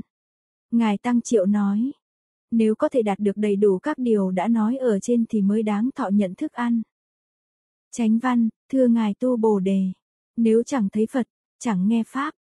Ngài Tăng Triệu nói, còn dùng nghĩa bình đẳng để chỉ dạy, nếu đạt được thị phi đồng, số tốt là một, thì tuy trên đồng như lai nhưng chẳng lấy làm tôn quý, dưới bằng sáu sư ngoại đạo cũng chẳng lấy làm thấp hèn. Thế thì trời đất đồng nhất chỉ quy, vạn vật đồng nhất quán. Tả tránh tuy khác mà tánh của nó chẳng hai, vậy đâu chỉ như lai tôn quý mà sáu sư ngoại đạo lại hèn kém ư. Nếu có thể đồng với sáu sư ngoại đạo kia, chẳng thấy Phật chẳng nghe Pháp, theo họ xuất ra, tùy thuận chủ họ đọa lạc mà chẳng lấy làm sai khác, mới có thể nhận lấy thức ăn. Đây là lời luận biện đến chỗ lý tánh cùng tận, rốt giáo vô phương. Nơi đó thiện ác thì nghịch luận mà chẳng trái với đạo thường, tà tránh thì đồng nêu mà chẳng mất chân thật. Đây có thể nói là đạo bình đẳng tránh hóa chẳng hai. Ngài đạo sinh nói, đây là một bậc, dẫu lời có trái mà lý thì thuận. Ví như thể hội được không bên trong sáng tỏ, thì chẳng cho lời trái mà hoặc loạn ý nghĩa. Ngài tu bồ để có thấy Phật nghe Pháp mà nói không thấy Phật không nghe Pháp là lời nói trái ngược. Nếu cho rằng không có Phật để thấy là không thấy Phật, không có Pháp để nghe là không nghe Pháp tức là thuận lý. Chánh văn, sáu sư ngoại đạo kia là Phú Lan Na Ca Diếp. Ngài La Thập nói, Ca Diếp là họ của người mẹ, Phú Lan Na là tên.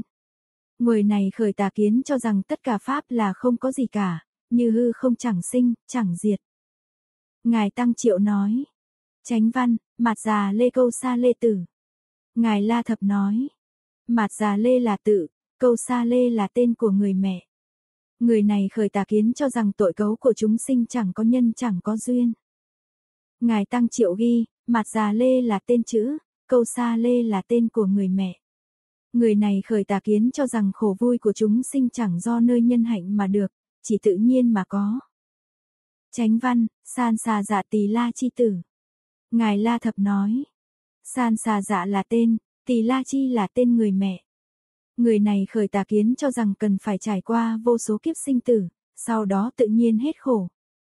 Ngài Tăng Triệu nói, san xà dạ là tên, tỳ la chi là tên người mẹ. Người này cho rằng đạo chẳng cần phải tìm cầu, trải qua vô số kiếp sinh tử diệt hết thì tự nhiên được, như thả trục chỉ từ núi cao, chỉ hết thì tự dừng, đâu nhờ vào tìm cầu. Chánh văn, A Kỳ Đa xí xá khâm bà la. Ngài La Thập nói, A Kỳ Đa là tên, xí xá khâm bà la là y phục thô xấu. Người này khởi tà kiến chẳng phải nhân chấp là nhân, mặc áo gai thô xấu, tự nhổ tóc, đốt lửa, xông khói vào mũi. Cho các việc khổ hạnh ấy là đạo. Ngài Tăng Triệu nói, A Kỳ Đa xí xá là tên, khâm bà la là một loại y phục thô xấu. Người này mặc y phục thô xấu, tự nhổ tóc dùng năm loại lửa đốt quanh thân mình, cho các khổ hạnh này là đạo. Cho rằng thân ngày nay nên chịu các khổ thân, mai sau sẽ được an lạc mãi mãi. Chánh văn, ca la cưu đà ca chiên diên. Ngài La Thập nói. Đây là tên của một ngoại đảo. Người này tùy theo người khác mà khởi chấp, nếu người hỏi có chăng? Thì đáp là có, nếu người hỏi. Không chăng, thì đáp là không. Ngài Tăng Triệu nói. Họ là ca chiên diên, tên là ca la cưu đà. Người này cho rằng các pháp cũng có tướng, cũng không có tướng. Chánh văn, Ni Kiền Đà Nhã Đệ Tử. Ngài La Thập nói. Ni Kiền là tên, Nhã Đề là tên người mẹ.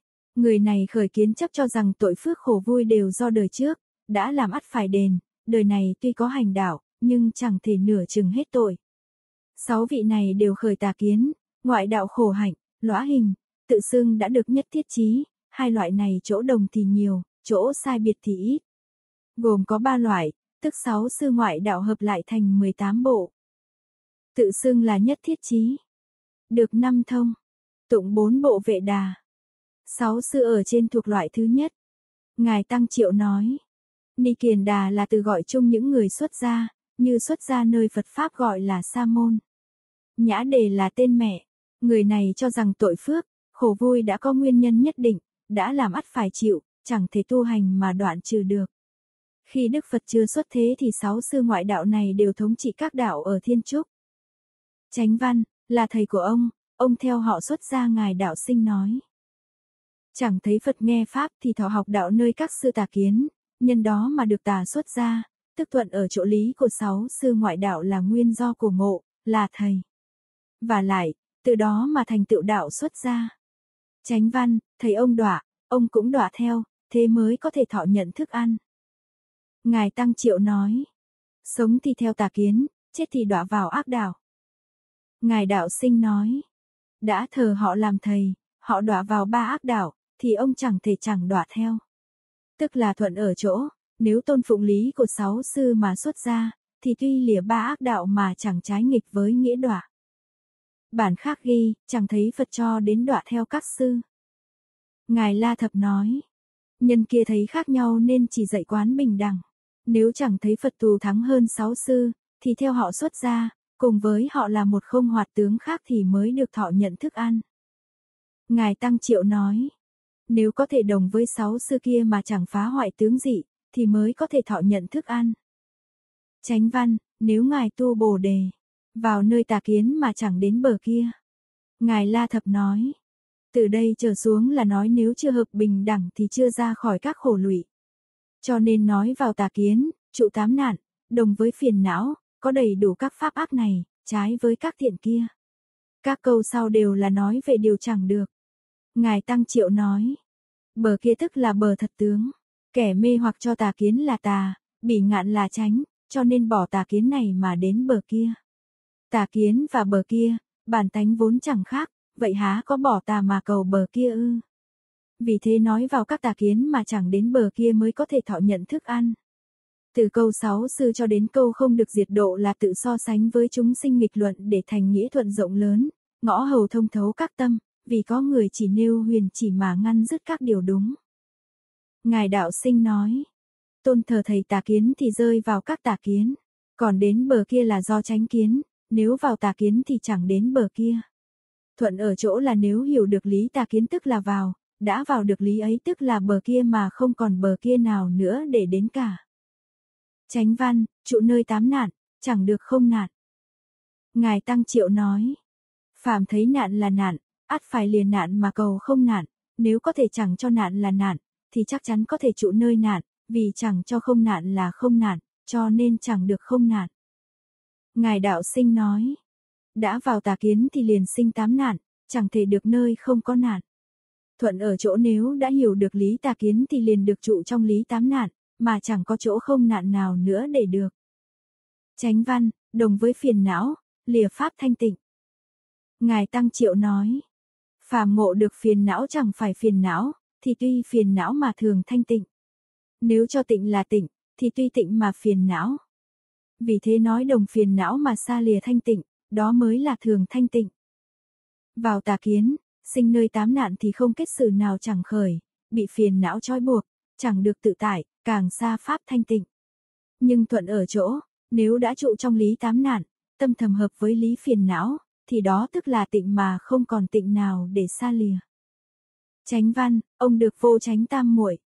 Ngài La Thập nói, vô tránh có hai, dùng sức tam muội hộ trì chúng sinh, khiến họ chẳng khởi tâm tranh luận. Tùy thuận pháp tánh, chẳng chống trái, chẳng tranh luận. Thiện nghiệp tự cho rằng đạt sâu xa được pháp không, không còn trái nghịch luận tranh, nay chẳng thuận bình đẳng mà nói vô tránh thì không khác với chúng sinh. Tránh văn, thì tất cả chúng sinh cũng được định này. Ngài Tăng Triệu nói, thiện cát và chúng sinh, tánh tự thường nhất, đâu chỉ thiện cát được mà chúng sinh chẳng được ư. Đây là nói tánh vốn chẳng thiên lệch, Ngài thiện cát là bậc giải không đệ nhất trong 500 đệ tử, thường khéo thuận pháp tánh, chẳng trái, chẳng tranh. Trong đã chẳng tranh, ngoài lại khéo thuận tâm người, khiến không tranh luận, Ngài đã được định này, gọi là vô tránh tam muội. Ngài đạo sinh nói, trên là cật vấn về việc cậy vào định mà chẳng bình đẳng, nên mới nói ông chẳng được định, ý tuy tại nơi đó nhưng chưa phản bác, vì thế cuối cùng căn cứ vào việc này để chỉ trích rằng nếu tu bồ đề được định này thì chúng sinh không thể không được. Thuận ở chỗ kia chẳng được cũng là đây được, không có gì khác nhau. Chánh văn, người cúng cho ngài chẳng gọi là phước điền. Ngài Tăng Triệu nói, ta nhận vật thí của người khiến cho người đạt được phước lớn, nên gọi là phước điền. Còn nếu nhìn chung thì ta người chẳng khác thì ai là người gieo các phước, ai là mảnh ruộng điền. Chánh văn, người cúng dường cho ngài sẽ đọa vào ba đường ác. Ngài Tăng Triệu nói, sự tổn hại của năm tội nghịch, sự lợi ích của cúng dường, nếu nhìn tổng quát thì đồng nhau, vì chưa giác cho nên thấy khác. Nếu năm nghịch mà có thể làm đọa lạc thì cúng dường cũng đọa lạc. Báo và ứng, ảnh và hưởng rất phù hợp, ví như cúng dường cho người tà kiến thì sẽ dẫn đến quả báo tà kiến mà đọa vào ba đường ác. Báo tà kiến tức là không phải phước điền. Đã không phước điền, thì có gì để nói. Nhưng thuận ở chỗ nếu cuối cùng đạt được tránh kiến thì không có phước điền để gọi. Vĩnh viễn xa lìa khỏi ba ác đạo mà chẳng khác với đọa.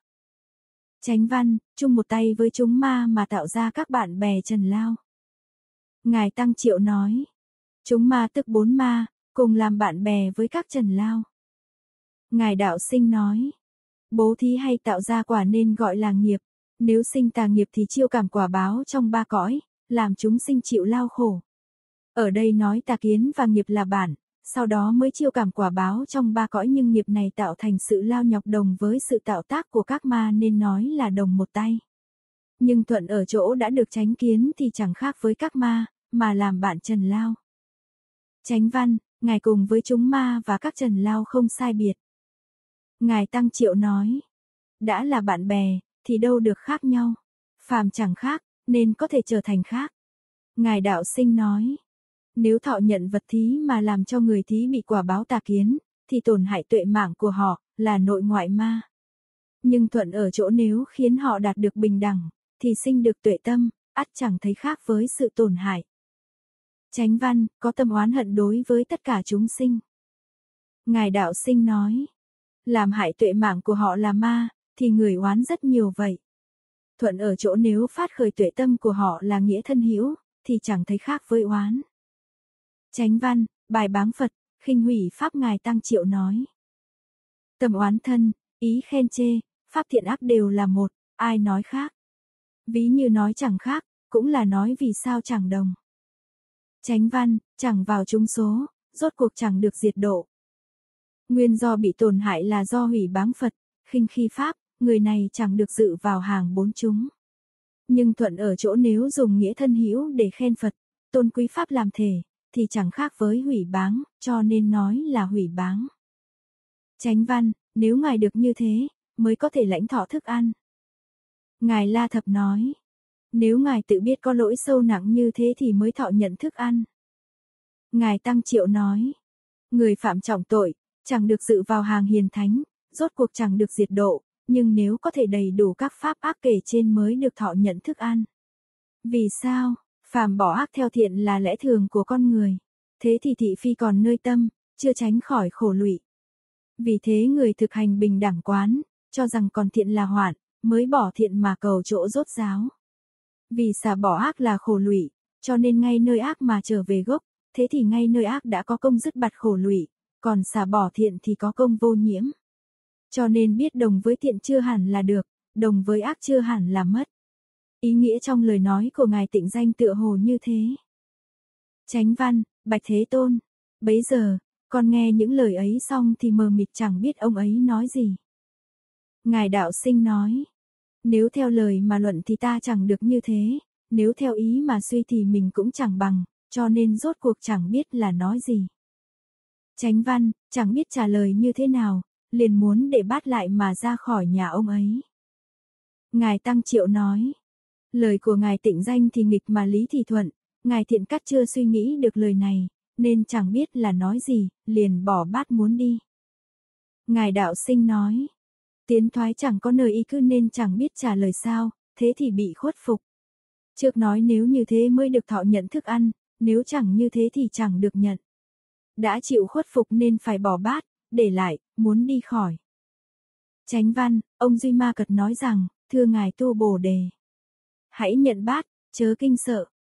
Kinh sợ chẳng đáp, lại không lấy bát, là chấp trước tướng ngôn ngữ. Vì muốn giải trừ chỗ ngăn trệ này để được thọ lãnh bát cơm, nên mới nói, hãy nhận bát, chớ kinh sợ. Chánh văn, ý ông thế nào? Nếu người huyễn do như lai biến hóa tạo ra, đem việc ấy hỏi ngài, thì ngài có sợ chăng? Ngài Tăng Triệu nói, ngài tịnh danh muốn tiện cắt Hoàng Dương đạo bình đẳng, dùng vô tâm để nghe, tùy thuận tốt xấu, nhưng ngài thiện cắt chưa tư duy đến lời này, mê mờ lời nói, cho nên cần phải lập dụ để chỉ bày. Ngài đạo sinh nói, lời nói cho dù như huyễn hóa tức cũng chẳng thể có tâm nơi lời vấn cật. Chánh văn, con nói, không sợ. Ông Duy Ma Cật lại nói, các pháp như huyễn hóa, ngài nay chẳng nên kinh sợ. Ngài Tăng Triệu nói, là bậc giải không đệ nhất trong các đệ tử, đã biết huyễn hóa là vô tâm, cũng đã biết các pháp như huyễn hóa, dùng tâm này mà nghe thì há có kinh sợ ư. Ngài đạo sinh nói, huyễn hóa thì chẳng sợ, các pháp như huyễn hóa thì chẳng được sinh sợ hãi. Chánh văn, vì sao? Vì tất cả ngôn thuyết chẳng lìa tướng ấy. Ngài Tăng Triệu nói, tướng ấy tức là tướng huyễn, ngôn thuyết như huyễn hóa, nghe cũng như huyễn hóa, dùng huyễn mà nghe huyễn, há có sợ hãi ư. Ngài đạo sinh nói, sở dĩ nói pháp như huyễn hóa cần phải không kinh sợ, là vì các pháp hóa như huyễn, ngôn tuyết cũng như thế. Ngôn tuyết đã nói như huyễn, vì sao phải sợ hãi nơi lời. Tránh văn, đến như người trí chẳng chấp trước văn tự, cho nên chẳng sợ. Vì sao? Vì tánh văn tự vốn xa lìa. Ngài Tăng Triệu nói, phạm văn tự sinh nơi mê hoặc chấp thủ, pháp không chấp thủ thì tướng của văn tự lìa, là pháp hư vọng giả danh, người trí không chấp giữ. tránh văn, không có văn tự là giải thoát. Ngài Tăng Triệu nói, giải thoát nghĩa là vô vi chân giải thoát, phạm danh sinh khởi nơi chẳng đủ, đủ thì không có danh, nên không có văn tự, đó là chân giải thoát. Ngài đạo sinh nói, chẳng bị trói buộc nơi văn tự nên nói giải thoát. tránh văn, tướng giải thoát tức là các pháp. Ngài Tăng Triệu nói, danh tự sinh nơi pháp, pháp sinh từ danh tự, danh tự đã giải thoát thì các pháp cũng đồng giải thoát. Ngài Đạo Sinh nói, trước dùng các pháp như huyễn để luận không văn tự, nay văn tự giải thoát thì lại nhờ đó để nói các pháp giải thoát. tránh văn, khi ông Duy Ma Cật nói pháp này xong, có 200 thiên tử được pháp nhãn tịnh. Vì thế con không kham nhận đến thăm bệnh ông ấy. Đức Phật lại bảo Ngài Phú Lô Na Di Đa La Ni Tử. Ngài La Thập nói.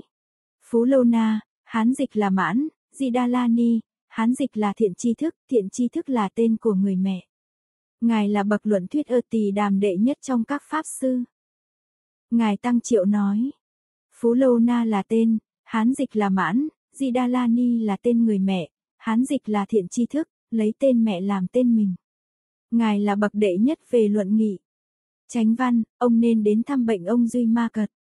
Phú Lô Na đáp, Bạch Thế Tôn, con không kham nhận đến thăm bệnh ông ấy. Vì sao? Nhớ khi xưa, con ngồi dưới một cội cây trong rừng thuyết pháp cho các tỳ kheo mới nghe. Ngài La Thập nói, gần thành tỳ Gia Ly có một khu rừng, trong đó có một dòng suối tên là Di Hầu, và các tăng phòng, là một trong ba tinh xá ở thành tỳ Đa Ly. Ngài Phú Lâu Na trụ nơi đây thuyết pháp cho các tỳ kheo mới học nghe. Chánh văn, bấy giờ, ông Duy Ma Cật đến nói với con rằng, thưa Ngài Phú Lâu Na. Trước tiên nên nhập định quán xét tâm người rồi sau mới nên thuyết pháp. Ngài Tăng Triệu nói. Đối với đại thừa từ bậc pháp thân trở lên đã được chân tâm vô ngại, tâm trí vắng lặng, chưa từng không có định. Vì tâm thường định nên luôn chiếu soi khắp vạn sự, chẳng cần suy cầu mới biết. Còn hàng tiểu thừa tâm còn có hạn, chẳng thể thường định, phàm quán xét, thì khi nhập định mới thấy, xuất định chẳng thấy. Và lại, trong hàng thanh văn vị nào có định sâu thì thấy được căn cơ của chúng sinh trong cùng tận tám vạn kiếp, vị có định lực kém thì chỉ thấy được vài đời mà thôi. Còn chỗ thấy của bậc đại sĩ thì vô cùng. Các tỳ kheo mới học này căn cơ thuộc đại thừa, cần phải được nghe đạo đại thừa, mà Phú Lâu Na lại nói pháp tiểu thừa, cho nên khuyên nhập định. tránh văn, chẳng nên đặt thức ăn dở vào bát báu. Ngài Tăng Triệu nói, thức ăn dở chỉ nên làm no người đói pháp tiểu thừa, còn vật báu vô thượng thì đựng đầy vào bát đại thừa. Chánh văn, nên biết tâm niệm của các vị tỳ kheo này, chẳng nên cho lưu ly đồng với thủy tinh. Ngài Tăng Triệu nói, nên biết được chỗ căn bản trong tâm niệm của họ, chẳng nên khiến cho không thể phân biệt được chân ngụy.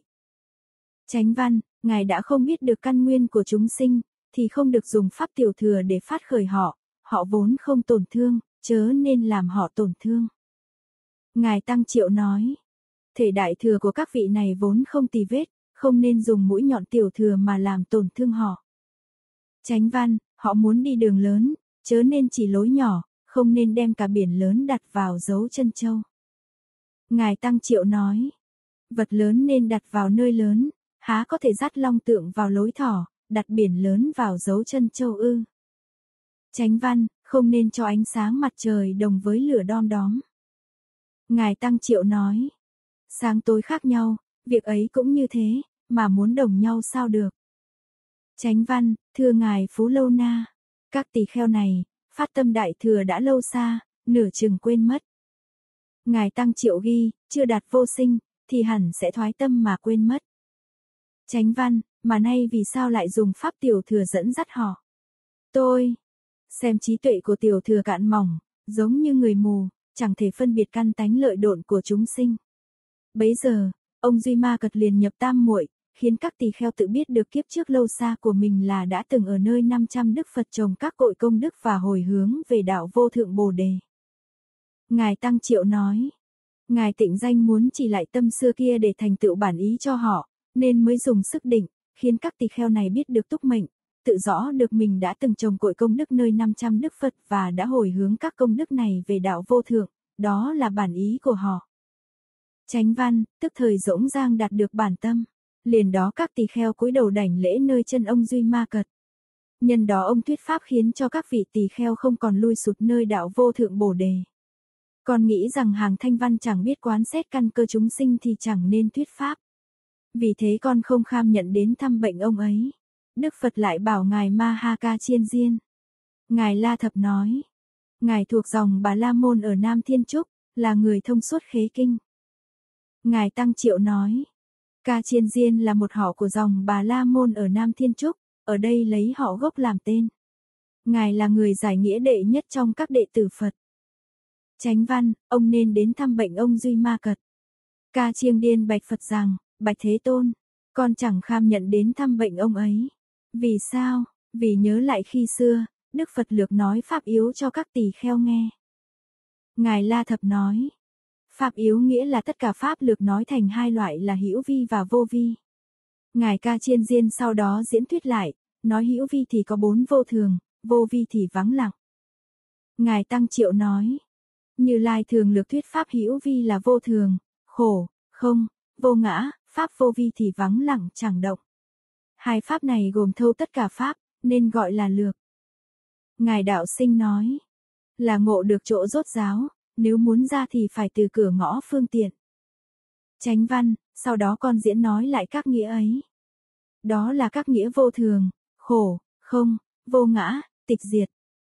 Ngài Tăng Triệu ghi, như Lai diễn thuyết chưa từng có tâm, nên Pháp được Ngài nói ra chưa từng có tướng.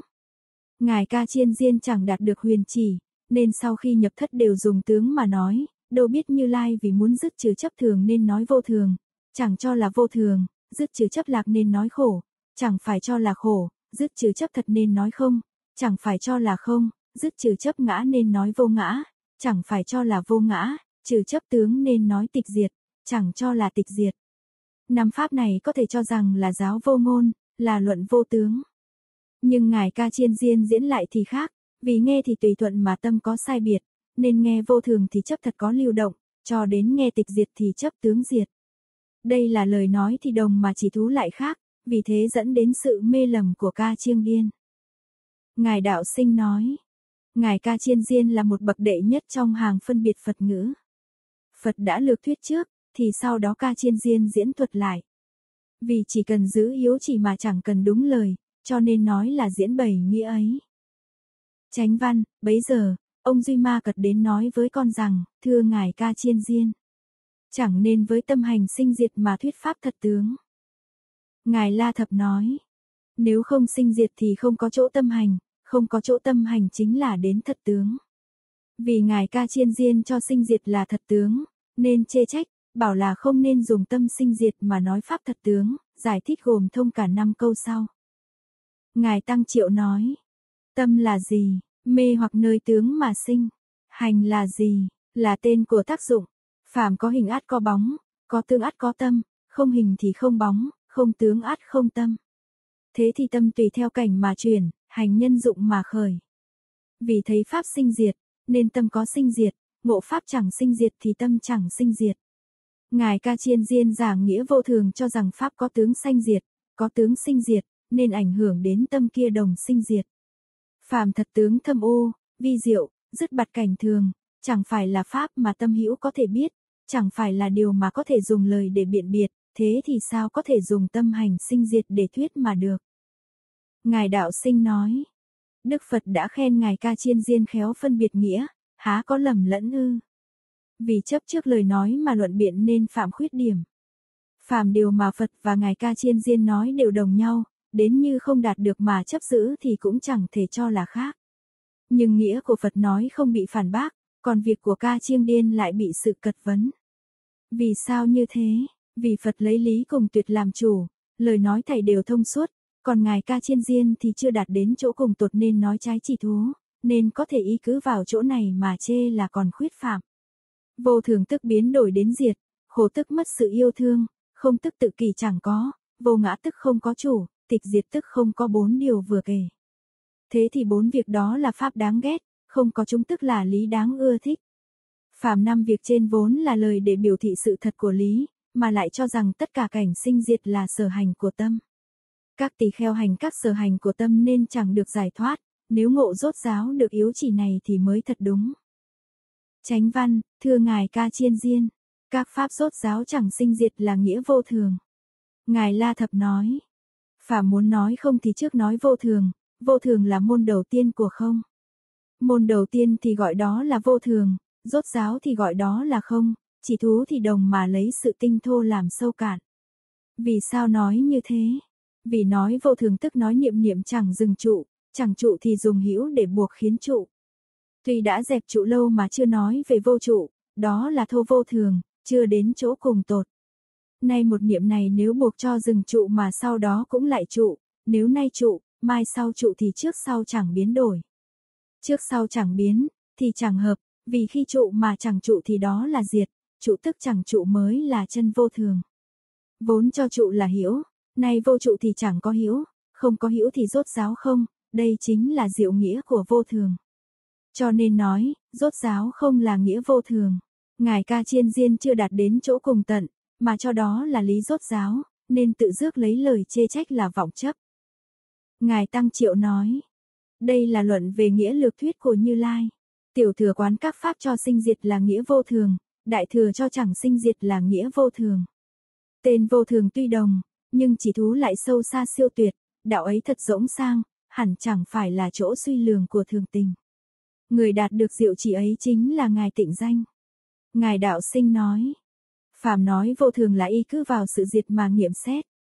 Ví như cuối cùng có diệt mà đầu tiên chẳng có sinh ư. Nếu đầu tiên thật có sinh, thì sinh chẳng nhất định sinh, sinh chẳng nhất định là sinh, thì diệt làm sao nhất định được. Sinh diệt đã chẳng định, thì chân thể nào có nơi tồn tại, suy xét về lý không tồn tại đó, chính là chỗ chân thật của các pháp. Thật, thì lấy chẳng sinh chẳng diệt làm nghĩa, há chẳng phải chỗ tồn tại của vô thường ư. Thế thì vô thường tuy là nói về vô của thường, nhưng cũng để biểu hiện nghĩa vô của vô thường. Rốt giáo tức chẳng thể chẳng sinh. Chánh văn, năm thọ ấm rỗng không, chẳng có chỗ khởi là nghĩa khổ. Ngài La Thập nói, vô thường phá hoại các pháp, cho nên khổ. Nếu vô thường thô thì sự phá hoại pháp cũng thô, hoại cũng thô, thì khổ chẳng cùng cực. Này nói diệu vô thường, thì không pháp nào chẳng bị phá hoại, không pháp nào chẳng bị hoại thì pháp chẳng thể hoại, khổ rất sâu nặng, là chỗ cùng tột của pháp bất khả đắc không. Từ không mà quán thì chẳng hoại chẳng khổ, từ hữu mà nhìn thì tan hoại là nguyên do nghĩa khổ sinh. Ngài Tăng Triệu nói, nằm ấm hữu lậu, thọ nhận ái nhiễm sinh tử nên gọi là năm thọ ấm. Tiểu thừa cho thọ ấm khởi thì các khổ sinh, đó là nghĩa khổ. Đại thừa thông đạt trong ngoài thọ ấm thường không, vốn tự chẳng khởi, thì có gì mà sinh khổ, đây là nghĩa khổ chân thật. Ngài đạo sinh nói, phàm khổ là do các sự hội hợp mà thành, cái mà do hội hợp thành, há thật có ư. Vì thế nói năm thọ ấm không là nghĩa khổ, năm thọ ấm là gốc của khổ, từ vô thường suy đến sinh và diệt chẳng tại một việc. Và lại, nói chung cho hữu lậu và vô lậu, nên nói là các pháp. Khổ là nghĩa của không, sinh khởi bên trong. Hơn nữa người đạt được vô lậu thì chẳng lấy việc mất các thọ mà làm khổ, nên chỉ nói thọ ấm mà thôi. Rỗng không, nghĩa là vô thường căn cứ vào Trung Quốc mà nghiệm biết, cho nên nói là rốt giáo, khổ lấy không làm thể nên nói là rỗng không. Không có chỗ khởi, nghĩa là vô thường tức nói về sự biến chuyển không gốc, lý hiện tại nơi sinh, khổ là nói về pháp giả hợp, vì thế phối hợp mà nói khởi. tránh văn, các pháp rốt giáo chẳng có là nghĩa không. Ngài La Thập nói, nói không là muốn trừ có, chẳng phải bỏ có mà giữ không. Nếu bỏ có giữ không, thì không chẳng thật là không. Hai pháp đều dứt bặt mới là nghĩa không. Ngài Tăng Triệu nói, tiểu thừa quán các pháp duyên khởi, trong đó không có chủ tể chân thật là nghĩa không. Tuy thường quán nói không mà chưa từng bặt không, nên chẳng rốt giáo. Còn đại thừa ở nơi có mà chẳng chấp có, nơi không mà chẳng chấp không, lý không há chẳng cùng cực, nên gọi là nghĩa không rốt giáo. Ngài đạo sinh nói, người mê hoặc đều cho là các pháp là sở hữu của ngã, theo lý đã là khổ, thì sự chẳng theo mình, sự đã chẳng theo ý mình thì chẳng phải là vật nắm giữ của ngã, chẳng phải ngã giữ gìn, thì vật đó ắt chẳng có có là có mà nói chẳng có, không là không, há nói có ư. Đây là không hiểu, không vô, rốt giáo đều dứt bặt, đó chính là nghĩa không. Chánh văn, ngã, vô ngã, chẳng hai là nghĩa vô ngã ngài La Thập nói. Nếu trừ ngã để được vô ngã, thì chưa tránh được còn ngã. Vì sao? Phàm nói ngã tức là chủ. Kinh nói rằng, có 22 căn, 22 căn tức 22 chủ, tuy nói không có chủ tể chân thật mà có chủ của tác dụng, đó còn là phế bỏ chủ mà lập chủ. Nên nói nếu ngã, vô ngã chẳng hai mới là vô ngã. Ngài Tăng Triệu nói, tiểu thừa vì chấp ngã mà bị phiền lụy, cho nên lập vô ngã. Vô ngã đã lập thì đối với ngã mà thành hai. Đại thừa thì thị phi đồng một chỉ thú, hai pháp chẳng khác, đó là nghĩa vô ngã. Ngài đạo sinh nói, lý đã chẳng theo ngã là không, há có ngã có thể tạo tác ư. Thế thì vô ngã, vô ngã vốn là ngã trong vô sinh tử, chẳng phải không có ngã Phật tánh. Chánh văn, pháp vốn chẳng sinh, nay cũng chẳng diệt là nghĩa tịch diệt. Ngài La Thập nói, đây là nói về nghĩa niết bàn, do sinh tử hết nên có diệt, sinh tử đã chẳng sinh thì không có niết bàn diệt, không có niết bàn diệt là chân tịch diệt. Ngài Tăng Triệu nói, tiểu thừa cho ba cõi là loạn động nên mới diệt mà cầu vô vi, phàm loạn động đã hình thành, cho nên diệt tức để sinh.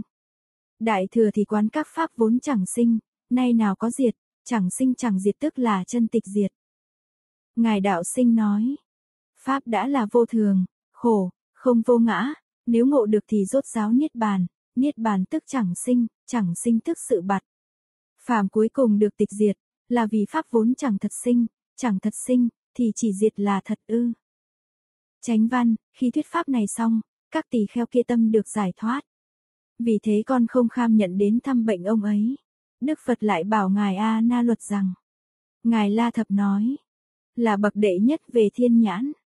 Ngài Tăng Triệu nói, A Na luật, hán dịch là như ý, thuộc dòng sát đế lợi, là người đệ nhất về thiên nhãn trong hàng đệ tử của Phật. Chánh văn, ông nên đến thăm bệnh ông Duy Ma Cật. A Na luật bạch Phật rằng, con không kham nhận đến thăm bệnh ông ấy. Vì sao, nhớ lại khi xưa, con đang kinh hành ở một nơi kia, bỗng có Phạm Vương tên là Nghiêm Tịnh cùng với vạn Phạm Vương khác phóng ánh sáng Nghiêm Tịnh, đến nơi con đang kinh hành, cúi đầu thi lễ rồi hỏi con rằng. Thưa Ngài A Na Luật, thiên nhãn của Ngài thấy được bao xa? Ngài Tăng Triệu nói. Các Phạm Vương nghe nói A Na Luật là bậc thiên nhãn đệ nhất, cho nên hỏi thấy được xa gần. Chánh văn, con liền đáp rằng, nhân giả. Tôi thấy tam thiên đại thiên thế giới của cõi Phật Thích Ca Mâu Ni, như thấy trái am ma lạc trong lòng bàn tay. Ngài Tăng Triệu nói, quả am ma lạc tựa như quả cau, ăn vào sẽ trừ được khí lạnh. Vì lúc bấy giờ, tay cầm quả này, cho nên lấy làm dụ. Chánh văn, bấy giờ, ông Duy Ma cật đến nói với con rằng, thưa ngài A Na Luật. Chỗ thấy của thiên nhãn đó là thuộc về tướng tạo tác, hay là tướng không tạo tác? Ngài La Thập nói, sắc không có tướng nhất định, nếu thấy sắc có tinh thô, xa gần rồi cho là sắc, thì đó là con mắt bệnh hoạn điên đảo, cho nên đồng với ngoại đảo. Nếu chẳng là tướng do sắc tạo, thì sắc vô vi, vô vi thì chẳng thể thấy được xa gần, mà nói là thấy đến tam thiên đại thiên. Tiến thoái đều chẳng được, nên chẳng hợp với Phạm Thiên, bị khuất phục nơi hai câu vấn nạn. Ngài Tăng Triệu nói, sáu căn của báo thân trong ba cõi đều từ kết nghiệp mà sinh, đó gọi là tướng có tạo tác, pháp thân vượt ngoài ba cõi, sáu căn chẳng phải do kết nghiệp sinh, đó gọi là tướng không do tạo tác. Vì có tạo tác, nên có chỗ không tạo tác. Pháp thân này không tạo tác nên không có gì không tạo ra. Chánh văn, giả sử là tướng tạo ra thì đồng với ngoại đạo năm thông. Ngài Tăng Triệu nói, ngoại đạo tu pháp thiền thế tục đạt được năm thần thông, nhưng chẳng thể vượt ra ngoài cảnh thấy nghe của cõi phàm phu. Đây là tướng có tạo tác, muốn đồng được ư. Chánh văn, nếu là tướng không tạo tác tức là vô vi, thì chẳng thể thấy. Ngài Tăng Triệu nói, nếu là tướng không do tạo tác, thì đó là tướng của pháp thân vô vi, há có thể nói là thấy xa gần ư. Chánh văn, Bạch Thế Tôn, bấy giờ, con chỉ biết im lặng. Ngài Tăng Triệu nói, muốn nói có tạo tác thì đồng với ngoại đạo, muốn nói không tạo tác thì trái với ý thấy ở trước, nên chẳng biết trả lời như thế nào. Chánh văn, các phạm thiên nghe lời này, đạt được điều chưa từng có, liền đảnh lễ mà hỏi rằng, thưa ngài. Trên đời này ai là người được chân thiên nhãn? Ngài La Thập nói, vì thiên nhãn của A Na luật là tướng do sắc tạo, nên chẳng phải là chân thiên nhãn, nếu chẳng phải là tướng tạo tác thì mới là chân thiên nhãn. Chưa biết ai có, cho nên mới hỏi. Ngài Tăng Triệu nói, các Phạm Vương cho rằng thiên nhãn chính là dùng sự thấy rõ nhìn xa làm lý, mà ông tịnh danh vặn hỏi lại trái với bản ý của họ, nên nghi có chân thiên nhãn khác, vì thế có lời hỏi này. Chánh văn, ông Duy Ma Cật nói, có Đức Phật Thế Tôn đã đạt được chân thiên nhãn, thường trụ nơi tam muội, thấy suốt các cõi Phật chẳng có hai tướng. Ngài La Thập nói, tức nói chẳng phải hai tướng tinh thô do sắc tạo ra. Ngài Tăng Triệu nói, chân thiên nhãn tức là con mắt vô tướng của Pháp thân Như Lai, chiếu soi thấu triệt các hình, lớn nhỏ đều thấy, vạn sắc đều hiền bày, nếu có vật gì trước mắt ấy thì chưa từng chẳng thấy mà chưa từng thấy. Cho nên không có hai tướng là sắc và mắt, hàng nhị thừa nơi định thì thấy, xuất định thì chẳng thấy, như lai thì chưa từng chẳng định, chưa từng chẳng thấy, nên thường trụ nơi tam muội. Chánh văn, bấy giờ, Phạm Vương nghiêm tịnh cùng 500 Phạm Vương quyến thuộc đều phát tâm vô thượng bồ đề, đảnh lễ nơi chân ông Duy Ma Cật, rồi bỗng nhiên biến mất. Ngài Tăng Triệu nói, chỗ phát minh của các Phạm Vương được thành lập như thế. Chánh văn, cho nên con không thể kham nhận đến thăm bệnh ông ấy. Đức Phật lại bảo yêu ba ly rằng, Ngài La Thập nói, người này luôn luôn thệ nguyện rằng đời đời kiếp kiếp phụng trì giới luật, cho nên nay là bậc đệ nhất về trì luật. Ngài Tăng Triệu nói, yêu ba ly, hán dịch là thượng thủ, là đệ nhất trì luật trong các đệ tử của Đức Phật. Chánh văn, ông nên đến thăm bệnh ông Duy Ma Cật. Yêu ba ly bạch Phật rằng, bạch Thế Tôn, con chẳng kham nhận đến thăm bệnh ông ấy. Vì sao, nhớ lại khi xưa, có hai vị tỳ kheo phạm luật hạnh, lấy làm hổ thẹn. Ngài đạo sinh nói, người phạm tội ắt sinh hoặc tâm sợ tội, nguyên vì làm sai không chỉ sợ khổ hoạn mà còn xấu hổ bởi việc làm của mình. Chánh văn, chẳng dám đến hỏi Đức Phật. Ngài La Thập nói, vì Phật tôn quý, nên sự hổ thẹn càng sâu nặng, hơn nữa rất sợ hãi khi đến trước chúng. Lại muốn nhờ Đức Như Lai để thấy rõ pháp tướng. Quyết định tội của chúng tôi ắt phải rơi vào vô tàn, thì vĩnh viễn rời khỏi chúng tăng, dứt bặt con đường chân chánh. Ngài đạo sinh nói, đã trai giới cấm của Phật, lại thêm việc làm ngu si, cho nên chẳng dám trình bày để hỏi Phật. Chánh văn, bèn đến hỏi con rằng, thưa ngài yêu ba ly. Chúng tôi phạm giới luật, hồ thẹn chẳng dám đến hỏi Phật, xin ngài giải trừ nghi hối để tránh khỏi tội ấy. Ngài Tăng Triệu nói, hổ thẹn vì việc phạm tội của mình chẳng dám đến hỏi Phật, mà đến hỏi ngài yêu ba ly, vì yêu ba ly là người đệ nhất chỉ luật. Hai vị này nghi rằng tội mình phạm chưa biết nặng hay nhẹ. Hối hận vì đã phế bỏ đạo hạnh, nên xin ngài yêu ba ly giải trừ lỗi này. Ngài đạo sinh nói, trái giới cấm là tội nặng nhưng có hối cải là quý, vì thế cho là có pháp để hối cải. Ngài yêu ba ly là người rất giỏi về luật, cho nên đến hỏi. Nghi tức là sợ tội đến với mình mà còn có một cái gì khác chưa đến. Hối nghĩa là đã sợ tội ấy ắt phải tự hối tiếc vì việc làm của mình. Chánh văn, con liền căn cứ theo như pháp để giải nói. Ngài Tăng Triệu nói, như pháp thức y theo giới luật để quyết định tội ấy nặng hay nhẹ, để chỉ bày pháp sám hối tội lỗi. Chánh văn, bấy giờ, ông Duy Ma cật đến nói với con rằng, thưa ngài yêu ba ly. Chớ nên tăng tội thêm cho hai vị tỳ kheo này. Ngài đạo sinh nói, chưa biết tướng tội, còn chấp trước nên dẫn đến sợ sệt, đã rõ được thuộc về đâu, thì cải hối. Pháp luật nặng thì tâm chấp sợ sệt càng sâu, mê hoặc sâu thì tội càng nặng. tránh văn, nên dứt trừ ngay, chớ nên não loạn tâm của họ. Ngài La Thập nói, người phạm luật thì tâm thường sợ sệt, nếu định tướng tội, lại càng thêm bức thiết, thế thì có thể cho rằng tâm yêu não mà tội tăng. Nếu nghe thật tướng thì tâm rỗng giang không nương gá, tội lỗi tự tiêu. Cho nên nói, nên diệt trừ ngay. Ngài Tăng Triệu nói, hai vị tỳ kheo này đã phạm luật hạnh, thì tâm nghi hối rất sâu, nếu lại kết thêm tội thì phiền lụy càng dày. Phiền lụy càng dày thì tội càng tăng, nên nói ngay về pháp không, để họ ngộ được tội chẳng thật. Ngộ được tội chẳng thật thì tâm phiền lụy dứt trừ, tâm phiền lụy dứt trừ thì tội cấu diệt, đâu vì chẳng xét biết căn cơ của họ mà định tội, não loạn tâm trí, tăng thêm tội khổ cho họ ư. Ngài đạo sinh nói, trừ tội thì dùng thuật, đối với lý đã là xa vời. Và lại, tùy bệnh mà cho đúng phương thang, nếu sai thì tăng thêm bệnh. Chánh văn, vì sao? Vì tánh tội chẳng ở trong, chẳng ở ngoài, chẳng ở khoảng giữa. Ngài Tăng Triệu nói, giải thích lại để trừ diệt ngay tội cho họ. Phạm tội sinh là do nhân duyên mà thành, tìm cầu thật tánh của nó, chẳng ở ba nơi. Như giết là nhân có bỉ ngã, bỉ ngã tức là trong ngoài. Riêng tự nơi ngã thì chẳng có giết, riêng tự nơi bỉ cũng chẳng có giết, bỉ ngã đã chẳng có, há ở khoảng giữa ư. Đó là do các duyên hợp thành, tìm cầu nó đều chẳng thật. Ngài đạo sinh nói, hoặc chấp vốn khởi từ người, thì tội kia há thật có ư. Nếu thể hội được nó thì chẳng tự buộc nơi tội, đã chẳng tự buộc nơi tội thì liền ra khỏi cảnh ấy, người đã ra khỏi cảnh ấy, thì tội há có được ư. Chẳng tại bên trong tức chẳng tại tâm ta, nếu tại tâm ta thì chẳng cần đợi thêm bên ngoài.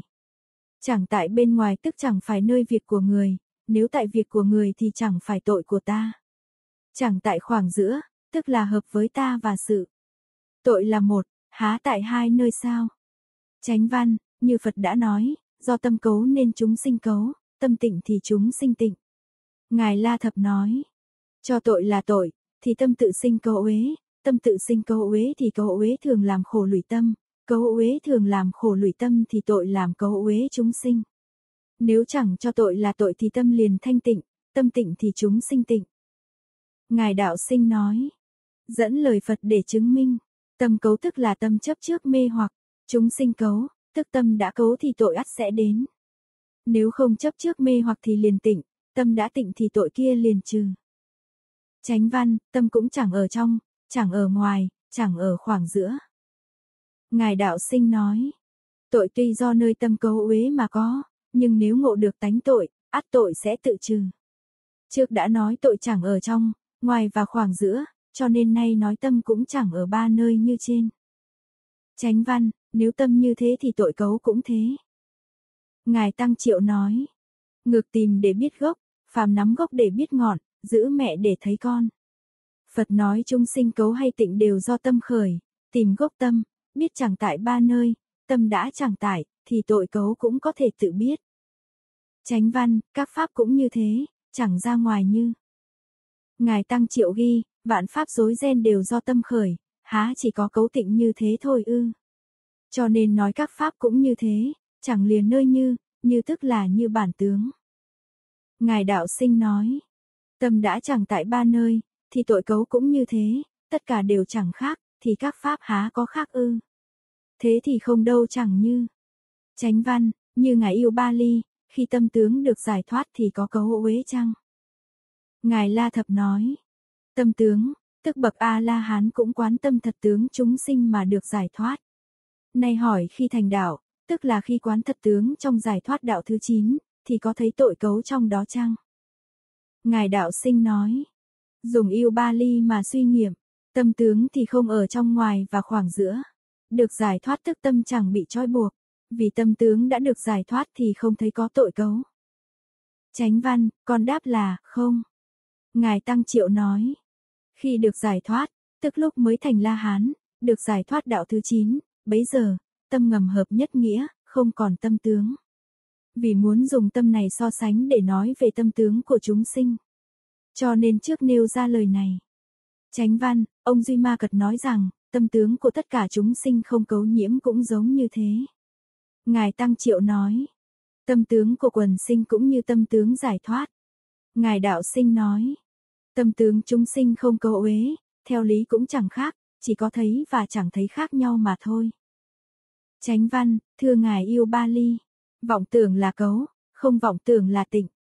Ngài La Thập nói, tôi vốn không có tướng, mà cưỡng cho là tướng sinh, nên thuộc vọng tưởng, vọng tưởng tự sinh cấu nhiễm, chẳng phải là lỗi của lý. Ngài Tăng Triệu nói, Ngài yêu ba ly phân biệt tội tướng để trừ cấu nhiễm, nhưng tội vốn không có tướng mà lại vọng sinh tướng của tội, thì trần cấu càng tăng. Lời này tuy chung nhưng ý thì tại nơi đây. Ngài đạo sinh nói, cấu, thật chẳng có, chỉ ở trong vọng tưởng là cấu. Nếu không vọng tưởng, thì cấu tức tịnh, vọng tưởng tức ý tưởng vọng tưởng phân biệt. tránh văn, điên đảo là cấu. Ngài đạo sinh nói, cái thấy đã chuyển, cái thấy chuyển bên trong thì vọng phân biệt các việc bên ngoài. tránh văn, không điên đảo là tịnh. Ngài Tăng Triệu nói, không có tội cấu mà thấy có tội cấu là điên đảo. Chánh văn, chấp ngã là cấu. Ngài đạo sinh nói, nếu chấp tướng ngã thì chẳng thể xả bỏ tự kỳ để trở về với lý. Đã chấp tướng ngã thì cái thấy liền chuyển. Chánh văn, chẳng chấp ngã là tịnh. Ngài Tăng Triệu nói, thấy tội tức còn ngã. Chánh văn, thưa Ngài yêu ba ly, tất cả pháp sinh diệt đều chẳng dừng. Ngài La Thập nói, từ đây trở xuống giải thích vì sao tội chẳng thật. Ngài Đạo Sinh nói, các pháp đều từ vọng tưởng sinh, tất cả đều như thế. Chánh văn, như huyễn, như ánh chấp, các pháp chẳng đợi nhau, cho dù một niệm cũng chẳng trụ. Ngài La Thập nói, tâm trước chẳng đợi tâm sau sinh rồi mới diệt. Ngài Tăng Triệu nói, thành tựu nghĩa vô tướng thường tịnh nêu ở trước, các pháp như ánh chấp sinh sau chẳng dừng, một niệm khởi, một niệm diệt chẳng chờ đợi nhau. Trong khoảng khải móng tay có 60 niệm trôi qua, các pháp không có một niệm dừng trụ, huống là muốn dừng lâu. Không trụ thì như huyễn, như huyễn thì chẳng thật, chẳng thật thì không, không thì thường thanh tịnh, thế thì các vật đều tịnh, đâu có tội nào buộc ngã. Chánh văn, các pháp đều là vọng kiến. Ngài La Thập nói, đều do vọng kiến, nên cho rằng pháp có. Chánh văn, như chiêm bao, như sóng nắng, như bóng trăng trong nước, như ảnh trong gương, do vọng tưởng sinh. Ngài Tăng Triệu nói, trên là nói về pháp bên ngoài chẳng trụ, đây là nói về vọng kiến nơi nội tâm, đều là luận về nghĩa không. Trong ngoài khác nhau, phàm là vọng kiến thì cảnh thấy chẳng thật, cảnh thấy chẳng thật, thì thật nằm ngoài cảnh, cảnh thật nằm ngoài cảnh được thấy thì thấy chỗ chẳng thể thấy, thấy chỗ chẳng thể thấy, cho nên không tướng, thường thanh tịnh. Hai dụ trên là nói về chóng diệt, bốn dụ này là nói về vọng tưởng. Chánh văn, Người biết được như thế, gọi là phụng luật. Ngài La Thập nói. Phụng luật, bản phạm gọi là tỳ ni. Tỳ ni, hán dịch là thiện trị, nghĩa là tự đối trị dâm, nộ, si, hoặc đối trị ác chúng sinh. Ngài đạo sinh nói. Hiểu biết như thế, thì chẳng sợ phạm luật. Chánh văn, người nào rõ được nghĩa này tức là khéo biết. Ngài Tăng Triệu nói. Nếu có thể biết pháp như thế gọi là khéo biết phụng trì luật. Chẳng biết pháp này mà gọi là người trì luật đệ nhất là sao? Khiến biết được yêu ba ly đã hiểu lầm ý thánh giáo. Ngài đạo sinh nói. Khéo biết luật tức là lý. Chánh văn, bấy giờ, hai vị tỳ kheo này nói rằng, thật là bậc thượng trí. Ngài yêu ba ly chẳng thể bằng được, là bậc thượng thủ về trì luật mà chẳng nói được. Ngài Tăng Triệu nói. Hai vị tỳ kheo ngộ được tội tánh thường tịnh, không còn nghi hối, cho nên khen ngợi. Chánh văn, còn đáp rằng, ngoài Đức Như Lai ra, chưa có một thanh văn hay vị Bồ Tát nào chế phục được biện tài nhạo thuyết của ông ấy. Ngài Tăng Triệu nói, bên trong có chi nhạo thuyết sinh khởi thì thuyết pháp vô cùng tận gọi là nhạo thuyết biện. Biện này vừa khởi thì hàng Bồ Tát bổ xứ còn khen ngợi, huống gì là hàng thanh văn. Chánh văn, trí tuệ của ông ấy sáng tỏ thông đạt như thế. Ngài Tăng Triệu nói, sáng tỏ thông đạt như thế, tôi đây há bằng được ư. Chánh văn, bấy giờ, hai vị tỳ kheo liền dứt trừ nghi hối. Ngài La Thập nói, có tội thì tự sinh tâm lo sợ buồn khổ, tội đã không thì nghi hối tự diệt. Chánh văn, phát tâm vô thượng bồ đề và nguyện rằng, nguyện cho tất cả chúng sinh đều được biện tài như thế. Cho nên con không kham nhận đến thăm bệnh ông ấy. Đức Phật lại bảo Ngài La Hầu La rằng, Ngài La Thập nói, La Hầu La là tên gọi, khi A Tu La nuốt mặt trăng, La Hầu La, hán dịch là phú trướng, nghĩa là che lấp ánh sáng của mặt trăng. Ngài La Hầu La 6 năm ở trong thai mẹ, bị ngăn che, nên có tên như thế. Là bậc đệ nhất về mật hạnh trong hàng thanh văn. Ngày Đức Bồ Tát xuất ra các thầy tướng số nói rằng, nếu đêm nay không xuất ra, thì sáng hôm sau bảy báu tự đến, làm truyền luân thánh vương thống trị bốn thiên hạ. Nghe thế, vô tịnh phạn liền trong đêm ấy tăng thêm kỳ nhạc để làm thái tử vui thú. Bấy giờ, tâm dục phát khởi, ngài La Hầu La tức thời nhập thai. Ngay trong đêm ấy ra ra Đà La có thai, các trời tịnh cư cùng nhau buồn bã mà nói rằng, Bồ Tát bị ái dục trói buộc, mê lụy nữ sắc, chúng sinh thật đáng thương xót, ai sẽ cứu độ họ đây? Tức thời biến các kỹ nữ giống như người chết, rất ghê sợ, khiến tâm Bồ Tát nhàm chán, liền khuyên xuất ra.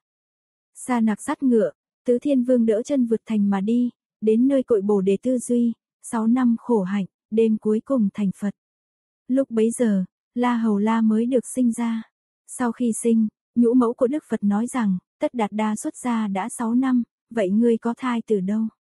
Nếu mang thai sáu năm thì thật là điều chưa từng nghe ở thế gian này. Các thích tử nghe thế bèn cùng nhau luận bàn cho rằng đây là điều chẳng lành, hủy nhục dòng họ thích, ắt là có tư thông, muốn y theo phép mà giết đi. Gia Du nói, xin gặp được đại vương rồi sẽ chết. Bây giờ, vô đang đứng cách một bước mà nói rằng, hãy trình bày đầy đủ nguyên do cho ta biết. Gia Du bèn thuật đầy đủ sự thật đã xảy ra, chẳng phải là con tư thông, mà chính là huyết thống của thái tử. Từ khi thái tử xuất ra, con luôn sầu khổ, nằm trên đất lạnh, cho nên đứa trẻ không sinh ra đúng thời gian. Lại nói với vua rằng, đại vương hãy tự nhìn đứa bé này, sắc tướng dung mạo có đúng là cháu của mình chăng? Vua liền bồng đứa bé lên xem thì thấy rất giống với thái tử, vua liền khóc và nói rằng, đúng là cháu của ta. Đức Phật muốn chứng minh việc này, nên hóa làm một phạm chí, vào vương cung gặp đứa bé hỏi rằng, con tên gì? Đứa bé đáp, con tên La Hầu La. Phạm chí khen rằng, đúng thay. Vì nhân duyên nghiệp mà con ở trong thai 6 năm, bị ngăn che, cho nên đặt tên như thế. Đức vua bèn hỏi, đó là nhân duyên nghiệp gì? Đức Phật đáp, ta biết nghiệp duyên, chẳng biết nghiệp gì. Sau Đức Phật trở về nước, La Hầu La thấy Phật có thân tướng trang nghiêm, tâm sinh cung kính, phát nguyện muốn xuất gia. Người mẹ nói rằng, người này xuất gia đạt thành thánh đạo. Về đạo thì con chẳng có phần, đâu cần phải xuất gia. La Hầu La nói, nếu là một người đắc đạo, thì con sẽ đắc. Liền bảo người cạo tóc, tóc cạo gần hết chỉ còn một chòm nhỏ trên đỉnh, người ấy lại nói, nếu cạo sạch thì đâu khác với người chết, sau này nhất định người không hối tiếc chứ. Đáp rằng, ngôi vua, chân bảo, vô số điều vui thú kỳ diệu mà ta còn bỏ được huống gì một tròm tóc bé xíu này. Tâm đạo kiên cố, bỏ ngôi vua xuất ra, ngài xá lợi phất là hòa thượng truyền giới. Nhân duyên và việc xuất gia tu pháp thanh văn của ngài La Hầu La đã lược thuyết như thế. Ngài Tăng Triệu nói, La Hầu La, hán dịch là phú trướng, vì 6 năm ở trong thai mẹ, bị ngăn che với thế gian, cho nên đặt tên như thế. Là vị có mật hạnh bậc nhất trong hàng đệ tử Phật. Chánh văn, ông nên đến thăm bệnh ông Duy Ma Cật. La Hầu La thưa rằng, Bạch Thế Tôn, con không kham nhận đến thăm bệnh ông ấy. Vì sao, nhớ khi xưa, các trưởng giả ở thành Tỳ Gia Ly đến chỗ con, cúi đầu đảnh lễ rồi hỏi rằng, thưa Ngài La Hầu La, Ngài là con Phật, Ngài đạo sinh nói. Tức là nói Ngài kế thừa nền móng của bậc thánh. Chánh văn, bỏ ngôi vị chuyển luân vương. Ngài La Thập nói, chuyển luân vương cũng có vị chẳng nhập thai, như đảnh sinh vương. Xưa có một vị chuyển luân vương, trên đảnh vị này có sinh một bướu, vương lo sợ cho đó là ung nhọt, vị bà la môn muốn dùng dao mổ phá, vương giận dữ nói rằng, vì sao dám dùng dao đặt trên đảnh đầu đại vương. Lại có một vị bà la môn khác dùng thuốc thoa vào bướu ấy, bảy ngày sau bướu trên đầu vỡ ra, trong đó có một đứa bé, tướng mạo đoan tránh oai nghiêm, bèn giữ lấy nuôi dưỡng, sau kế vương vị. Vì sinh từ đảnh đầu, nên gọi là đảnh sinh vương.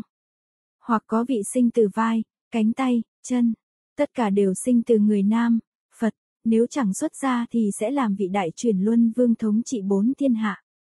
Ngài La Âu La, nếu chẳng xuất gia thì làm vua ở cõi diêm phù đề. Những quỷ thần cư ngụ trong vòng 10 do tuần ở mặt đất và trong vòng 10 đô tuần ở trên hư không đều là cấp sứ của Ngài La Hầu La. Ngài La Hầu La phạm khuyết điểm là có bốn nguyên do. Không thấy được căn cơ của người, cho thuốc chẳng đúng. Công đức xuất ra vô lượng mà nói có hạn lượng. Tức thật tướng, mà dùng tướng để thuyết. Pháp xuất gia vốn là thật tướng và niết bàn, xuất gia chính là phương tiện của hai pháp này, nay tuy chưa đạt được nhưng đã có tướng ấy. Ngài La Hầu La tuy có nói sự cao quý của xuất gia, nhưng chưa nói đến tướng rốt giáo, cho nên trái với lý, mất chân nghĩa, mà bị khuất phục là điều đúng. Hai vị tuy đều nói về công đức xuất gia, nhưng Ngài La Hầu La bị bốn điều sai, trái tông chỉ, đúng sai trái nghịch sai biệt như thế. Ngài Đạo Sinh nói, Ngài La Vân có tướng làm chuyển luân vương, cai chỉ cõi diêm phù đề. Chánh văn, xuất gia tu đạo. Ngài Đạo Sinh nói, ý nói rằng chẳng nên xả bỏ mà xuất gia. Chánh văn, việc xuất gia ấy có lợi ích gì? Ngài La Thập nói, các trưởng giả thấy La Hầu La cạo bỏ râu tóc, đắp y thô xấu, ôm bát khất thực để nuôi sống sinh mạng, là chỉ mới thấy được những điều mà La Hầu La đạt được. Từ bên ngoài mà nhìn thì thật đáng thương, vì tiếc cho khi xưa, buồn thương cho hôm nay mà mong cầu La Hầu La được lợi lạc, cho nên hỏi về lợi ích. Ngài Tăng Triệu nói, Đức Phật, nếu chẳng xuất gia thì làm chuyển luân vương, thống trị bốn thiên hạ, La Hầu La chẳng xuất gia thì sẽ làm thiết luân vương, thống trị một thiên hạ. Điều ngài xả bỏ chẳng phải là nhỏ, thì điều cần cầu ắt phải lớn, nên mới hỏi về chỗ lợi ích. Ngài đạo sinh nói, đã bỏ mà xuất ra, về sau ắt sẽ có việc tốt đẹp. Vậy rốt cuộc đạt được lợi ích gì nơi đây? Chánh văn, còn liền như Pháp mà nói về lợi ích của công đức xuất gia. Ngài Tăng Triệu nói, chẳng biết rõ căn cơ, mà như Pháp nói về lợi ích của công đức xuất gia. Ngài Đạo Sinh nói, sự vinh hoa phú quý thế gian tuy có vui thích nhưng khó giữ lâu bền, lý xuất gia thì mãi mãi an lạc mà vô vi, há có thể cho là đồng thời mà luận hơn kém ư. Chánh văn, bấy giờ, ông Duy Ma cật đến nói với con rằng, thưa ngài La Hầu La. Chẳng nên nói về lợi ích của công đức xuất gia. Ngài đạo sinh nói, các trưởng giả lấy tham muốn dục lạc giữ gìn vinh hoa phú quý làm bản hoài, nếu nghe được thì chuyển sinh tham trước, thế thì trái với lợi ích của xuất gia, đối với họ chẳng đúng, cho nên ông Duy Ma nói như thế. Chánh văn, vì sao? Vì không lợi ích, không có công đức mới là xuất gia. Ngài Tăng Triệu nói, phạm ý xuất gia tức là khéo đạt vô vi, đạo vô vi há có công đức và lợi ích hư. Ngài Đạo Sinh nói, chính là dùng không lợi ích, không công đức để làm lý xuất gia. Chánh văn, Pháp hữu vi thì có thể cho là có lợi ích, có công đức. Ngài đạo sinh nói, tham muốn dục lạc là pháp vô cùng là pháp hữu vi. Chánh văn, phàm xuất gia là pháp vô vi, trong pháp vô vi không có lợi ích, không có công đức. Ngài La Thập nói, đối với đạo phẩm vô lậu thì tất cả pháp và luật nghi đều gọi là pháp xuất gia, pháp xuất gia thì không có lợi ích.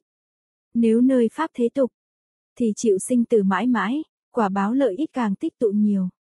Còn như pháp xuất gia, hôm nay tuy có, cuối cùng thì không. Vì sao? Vì muốn mượn sự mà trừ sự, nhân hữu mà lập không, để ra khỏi cõi công đức vào cảnh không lợi, cảnh không lợi tức niết bàn. Này căn cứ vào có lợi mà nói không lợi, là từ nhân mà nói quả. Ngài Tăng Triệu nói, phàm có quả vô vi ắt có nhân vô vi, nhân quả đồng tướng là đạo tự nhiên. Xuất ra là vô vi, là nhân vô vi, vô vi thì không lợi, không công đức, thì biết xuất ra cũng như thế. Ngài đạo sinh nói, vô vi là pháp biểu lý, nên thật không có công đức và lợi ích.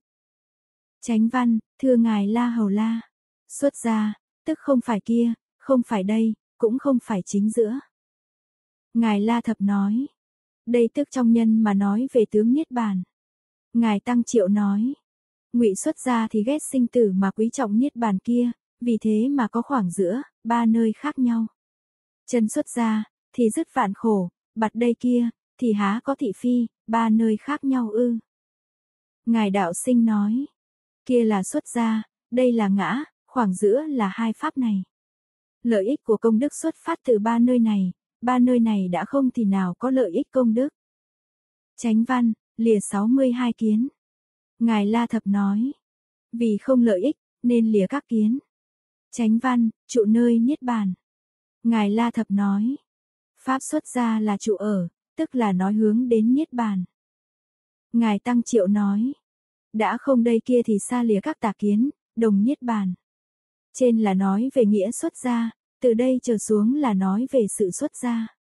Tuy nói sự, nhưng vô sự nơi sự, thế thì xuất gia lấy việc dẹp bỏ phiền não làm trí, lấy vô vi làm tâm, vì tâm vô vi, nên các đức tạo ra cũng đều vô vi. Chánh văn, là pháp mà người trí thọ nhận. Ngài La Thập nói, tất cả hiền thánh và các bậc đại nhân đều khen ngợi, thọ chỉ pháp xuất ra, Chánh văn, là pháp mà bậc thánh hành chỉ Ngài La Thập nói. Các bậc thánh hành pháp này mà thông đạt. Ngài Tăng Triệu nói, bậc hiền trí nghe pháp này mà vâng theo, các thánh hành pháp này mà thông đạt. Có thể cho đó là đạo xuất gia chân thật. Chánh văn, hàng phục các ma. Ngài Tăng Triệu nói, các ma tức bốn ma. Chánh đạo đã thông thì tà đạo tự biết, kinh ghi, một người xuất gia, thì ma cung đều chấn động. Chánh văn, độ năm đường. Ngài La Thập nói, Phạm phu có thể ra khỏi bốn đường, nhưng chẳng ra khỏi cõi trời. Người xuất gia cầu tịch diệt, thì vượt cả năm đường, ta người đều độ. Ngài Tăng Triệu nói, năm đường chẳng phải là con đường vô vi. Chánh văn, thanh tịnh năm loại mắt. Ngài Tăng Triệu nói, thanh tịnh năm loại mắt, như kinh phóng quang đã nói. Chánh văn, được năm lực, lập năm căn, chẳng não loạn người khác. Ngài La Thập nói, tại gia tuy có làm các điều thiện, nhưng còn bị phiền lụy bởi tình cha mẹ vợ con quyến thuộc. Nếu có người đến xâm hại thì liền báo trả, cho nên tại gia là nhân duyên não loạn người khác. Xuất gia thì không có các phiền lụy này, thì nhân não loạn người tự dứt, cho nên nói chẳng làm não loạn người khác. Ngài Tăng Triệu nói, đạo vượt ra ngoài sự, chẳng nghịch với chúng sinh, thế thì đâu có gì gọi là não loạn. Chánh văn, lìa các tạp ác. Ngài La Thập nói, phàm phu dùng tâm sen tạp mà làm các điều thiện, đó gọi là tạp ác. Người xuất gia tu thiện thì diệt trừ vọng tưởng, và lại, vì niết bàn, nên xa lìa các tạp ác. Ngài Tăng Triệu nói, thiện của thế tục, tuy gọi là thiện nhưng còn xen lẫn bất thiện. Đạo Pháp thì chân tịnh, nên thuần là thiện chẳng xen tạp. Chánh văn, phá dẹp các ngoại đạo. Ngài La Thập nói, xuất gia chẳng phá dẹp chúng sinh mà các ác tự diệt, giống như mặt trời lên thì bóng tối tự tan. Ngài Tăng Triệu nói, mặt trời, mặt trăng chẳng cầu mong trừ khử bóng tối, mà bóng tối tự tan. Xuất gia chẳng mong phá ngoại đạo mà ngoại đạo tự diệt. Chánh văn, vượt ngoài giả danh. Ngài La Thập nói, do duyên hội họp nên chẳng thật, chỉ là giả danh. Nếu đạt được thật tướng thì chẳng mê nơi giả danh, vì thế nói là vượt khỏi. Ngài Tăng Triệu nói, vạn sự vạn danh đều từ hư giả mà sinh, đạo là ngộ được chân, nên vượt qua giả danh. Tránh văn, ra khỏi bùn lầy. Ngài La Thập nói, tại ra thì chìm trong bùn lầy ái dục, xuất ra thì chìm trong bùn lầy kiến chấp. Này nói chân xuất ra, nên nói chung là ra khỏi tất cả. Tránh văn, không bị trói buộc. Ngài La Thập nói, nếu có chỉ bị trói buộc, thì chưa gọi là xuất gia, tất cả chẳng bị trói buộc mới gọi là chân xuất gia. Ngài Tăng Triệu nói, ra khỏi bùn lầy sinh tử ái kiến, không xuất gia, thì bị đường ái kiến trói buộc. Tránh văn, không có ngã sở. Ngài La Thập nói, trong pháp ngã sở, tất cả đều xa lìa, nên nói là không. Ngài Tăng Triệu nói, đạo xuất gia vốn là vô vi. Tránh văn, không có thọ. Ngài La Thập nói, thọ tức thủ, chấp giữ. Thủ có bốn loại, người tại gia thì có ái thủ, người xuất gia thì có giới thủ, kiến thủ và ái thủ. Người chân xuất gia không có bốn thọ này, cũng tức là không chấp thủ tất cả pháp. Ngài Tăng Triệu nói, không có bốn thọ là dục thọ, ngã thọ, giới thọ và kiến thọ. Chánh văn, không rối loạn. Ngài La Thập nói, phàm tâm có chỗ để trụ thì phương tiện chẳng dứt trừ, gọi là rối loạn xuất ra thì vô sự, tất cả vĩnh viễn xa lìa. Chánh văn, trong lòng luôn hoan hỉ. Ngài La Thập nói, hỉ có hai loại. Hiện đời có công đức, tự nhiên sinh vui thích. Sau đạt được niết bàn, tâm thường an lạc, vui thích. Đã đầy đủ hai hỉ này, lại không có ý tưởng chấp trước, mới thật là chân hỉ. Ngài Tăng Triệu nói, phàm tâm rối loạn là do mong cầu nhiều, buồn khổ là do chẳng biết đủ. Người xuất gia tham dục đã dứt, tâm rối loạn chẳng còn, bên trong đạo pháp đầy đủ, nên có thừa hoan hỉ nơi tâm. Chánh văn, trợ giúp ý người. Ngài La Thập nói, nghĩa là thường thuận chúng sinh, không trái nghịch tâm ý của họ.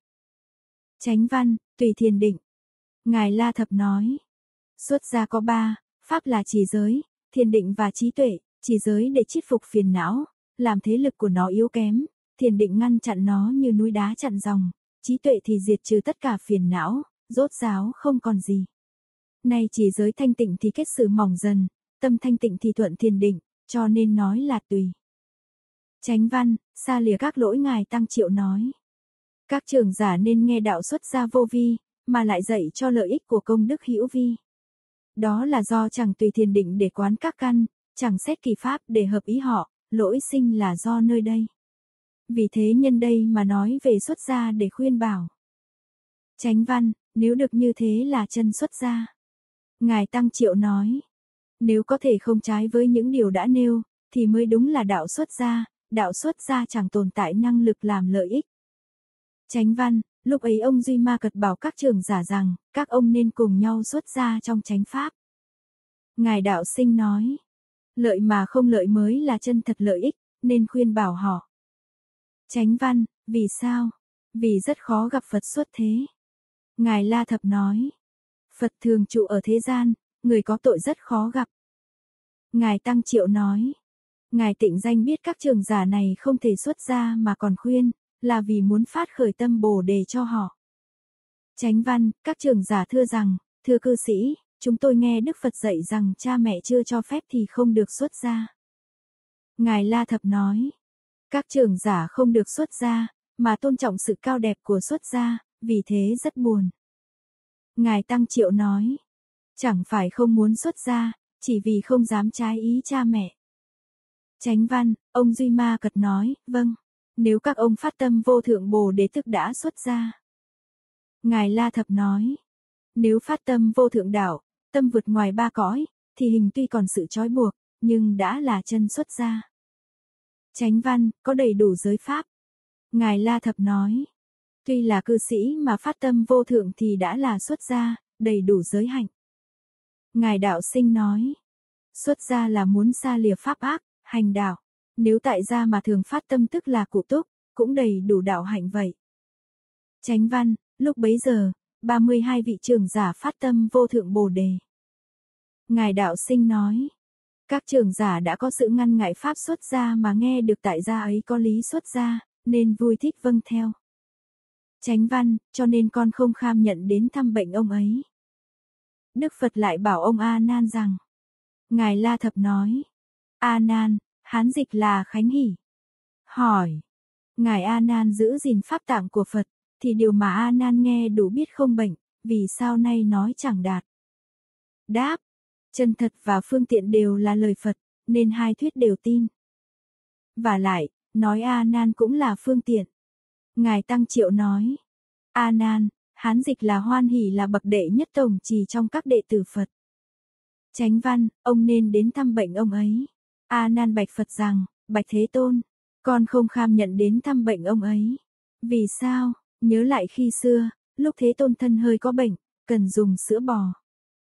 Ngài đạo sinh nói, Phật mà có bệnh, tức thị hiện cách chúng sinh chẳng xa, khiến chúng sinh có tâm trông mong kính ngưỡng, mà cần dùng sữa bò, tức là có ý muốn ứng theo đây để hóa độ.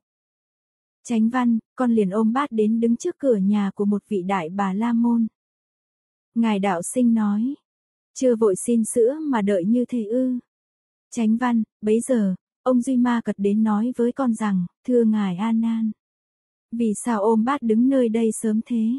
Ngài đạo sinh nói, sáng sớm chưa phải là thời gian khất thực, vậy ắt có nguyên do. Chánh văn, con nói rằng, này cư sĩ, thế tôn hơi có bệnh, cần dùng sữa cho nên tôi đến đây. Ngài đạo sinh nói, theo sự việc mà trả lời. Chánh văn, ông Duy Ma nói, thôi, thôi, ngài An An, chớ nên nói lời ấy. Ngài Tăng Triệu nói, bậc trí nhân, phạm mỗi mỗi động tác, há chỉ lấy xuông thôi ư. Việc Đức Như Lai hiện bệnh để độ người, ngài tịnh danh chê trách để làm lợi ích, tất cả đều chép tại kinh khác. Ngài đạo sinh nói, đối với người chẳng đạt, thì chẳng nên nói. Chánh văn, thân như lai là thể kim cang. Ngài La Thập nói, tiểu thừa nói xương cốt là kim cang, thì chẳng phải là kim cang. Đối với đại thừa thì trong ngoài đều là kim cang, tất cả đều chân thật trọn vẹn, có thế lực mạnh, không có bệnh. Ngài đạo sinh nói, thân như lai không thể bị tổn hoại, bền chắc như kim cang. Chánh văn, các ác đã dứt, các thiện tụ hội, vậy có bệnh gì, còn não gì? Ngài Tăng Triệu nói, phàm bệnh hoạn là do hành nghiệp sinh, Đức Như Lai tích tập đủ các thiện, diệt trừ tất cả ác, thân như kim cang, thì não bệnh hoạn gì? Ngài Đạo Sinh nói, đây là lược nêu lên lý không bệnh, tức là nói không có gốc sinh ra bệnh, chỉ có nhân vui thích tụ hội, thế thì có bệnh gì? Chánh văn, hãy im lặng mà đi, hỡi A Nan Ngài Đạo Sinh nói hãy im lặng mà rời khỏi nơi đây. Chánh văn, chớ phỉ báng Như Lai. Ngài Tăng Triệu nói, Như Lai không có bệnh, mà nói có bệnh là phỉ báng. Ngài Đạo Sinh nói, như nói có thật bệnh là phỉ báng Phật, theo đó thì không có lý gì để xin sữa, cho nên bảo trở về. Chánh văn, chữa để cho người khác nghe được lời nói thô xấu này. Ngài Đạo Sinh nói, bệnh là một việc rất tầm thường thô xấu, nếu người không thông đạt nghe được ắt sẽ nghi ngờ. Chánh văn, chẳng để cho các vị trời đại oai đức. Ngài La Thập nói, trên cõi trời ngũ tịnh cư có riêng các vị trời thanh tịnh gọi là thế gian đành, đều là các Bồ Tát thập trụ sinh về. Nếu các vị này nghe được những lời ấy, ắt biết Ngài A Nan chưa thông đạt phương tiện mà sinh khởi ý tưởng thấp kém. Cho nên gian bảo chớ nên để các vị ấy nghe được, e rằng lời này tựa như là lời thích hợp cho lúc bấy giờ, mà chẳng phải là lời chân thật. Chánh văn, và các Bồ Tát từ tịnh độ khác đến đây nghe được lời này. Ngài Đạo Sinh nói, kia suy biết đã không bệnh ắt là đạt thành Phật, mà đây nói là thật bệnh, thì chẳng phải là chê lời ấy chẳng đúng ư. Chánh văn, thưa Ngài An Nan, chuyển luân Thánh Vương chỉ có ít phước mà còn không bệnh. Ngài La Thập nói, có một vị La Hán tên là Bạc Câu La, khi xưa là một người bán thuốc, nói với chúng tăng trong hạ an cư rằng, nếu ai cần thuốc men, thì đến tôi mà lấy dùng, rốt cuộc chẳng ai cần, chỉ có một vị tỷ kheo hơi có bệnh, nhận một quả ha lê lạc. Nhân đây mà người thầy thuốc kia trong 90 kiếp sinh về cõi trời, hưởng vô lượng điều vui thú.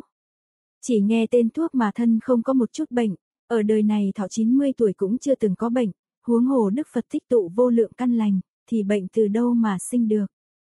Hỏi, Thiện ác đối nghịch, báo ứng hợp nhau tạo tội ngũ nghịch thì một kiếp chịu khổ, vì sao nói thiện từ một quả ha lê lạc mà hưởng phước vô lượng. Đáp, việc tội nặng mà lực yếu, việc thiện nhẹ mà thế lại mạnh, thí như con rắn độc muốn ăn thịt người, trước phun nọc độc trên đất, người đạp phải liền hôn mê, chẳng thể đi được, sau đó dùng khí mà hút lấy. Tạo công đức nơi tam bảo cũng thế. Lúc mới tạo công đức, việc ấy tuy nhỏ, nhưng lợi ích âm thầm đã sâu xa, sau đó dùng phương tiện dẫn vào Phật đạo, rốt giáo niết bàn thì phước ấy mới hết. Chánh văn, huống gì như lai là bậc có vô lượng phước tích tụ, hơn cả mọi người ở đó ư. Ngài Tăng Triệu nói, chuyển luân thánh vương tùy thọ mạng dài ngắn mà thân chẳng bao giờ có bệnh. Ngài đạo sinh nói, dùng sự mà suy diễn khiến cho người ngộ được, chuyển luân thánh vương chẳng bằng chư thiên cõi dục, chỉ có ít phước của loài người mà còn không bệnh, hà huống như lai, phước hơn cả ba cõi, mà lại có bệnh ư. Chánh văn, hãy đi, chớ làm cho chúng tôi bị sự nhục này. Ngài đạo sinh nói, suy sự việc đã như thế, thì ắt phải trở về. Nếu cố chấp chẳng đi, thì không chỉ Phật chịu sự phỉ báng này, mà chúng tôi cũng bị sự sỉ nhục ấy. Chánh văn, còn các ngoại đạo, phạm chí nếu nghe lời này, sẽ nghĩ rằng, vì sao đã là thầy lại chẳng chữa được bệnh của mình mà mong cứu được bệnh người ư. Ngài đạo sinh nói, thầy mà chẳng thể chỉ dạy cho người, thì chịu sự sỉ nhục này.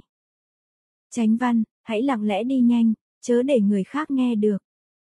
Ngài Tăng Triệu nói, bậc tránh sĩ nghe thì cho rằng ông chẳng đạt, kẻ tà đạo nghe được thì cho Phật thật có bệnh, thì sao được gọi là bậc lương y của Pháp, thân bệnh còn chẳng thể chữa được, mà muốn chữa tâm bệnh cho người ư. Ngài đạo sinh nói, nên gấp trở về. Chánh văn, Ngài A Nan, nên biết thân như lai là Pháp thân. Ngài La Thập nói, Pháp thân có ba loại. Pháp hóa sanh thân, tức thân kim cang. Ngũ phần Pháp thân. Thật tướng các Pháp hòa hợp thành Phật, cho nên thật tướng cũng gọi là Pháp thân. Chánh văn, chẳng phải thân tư dục.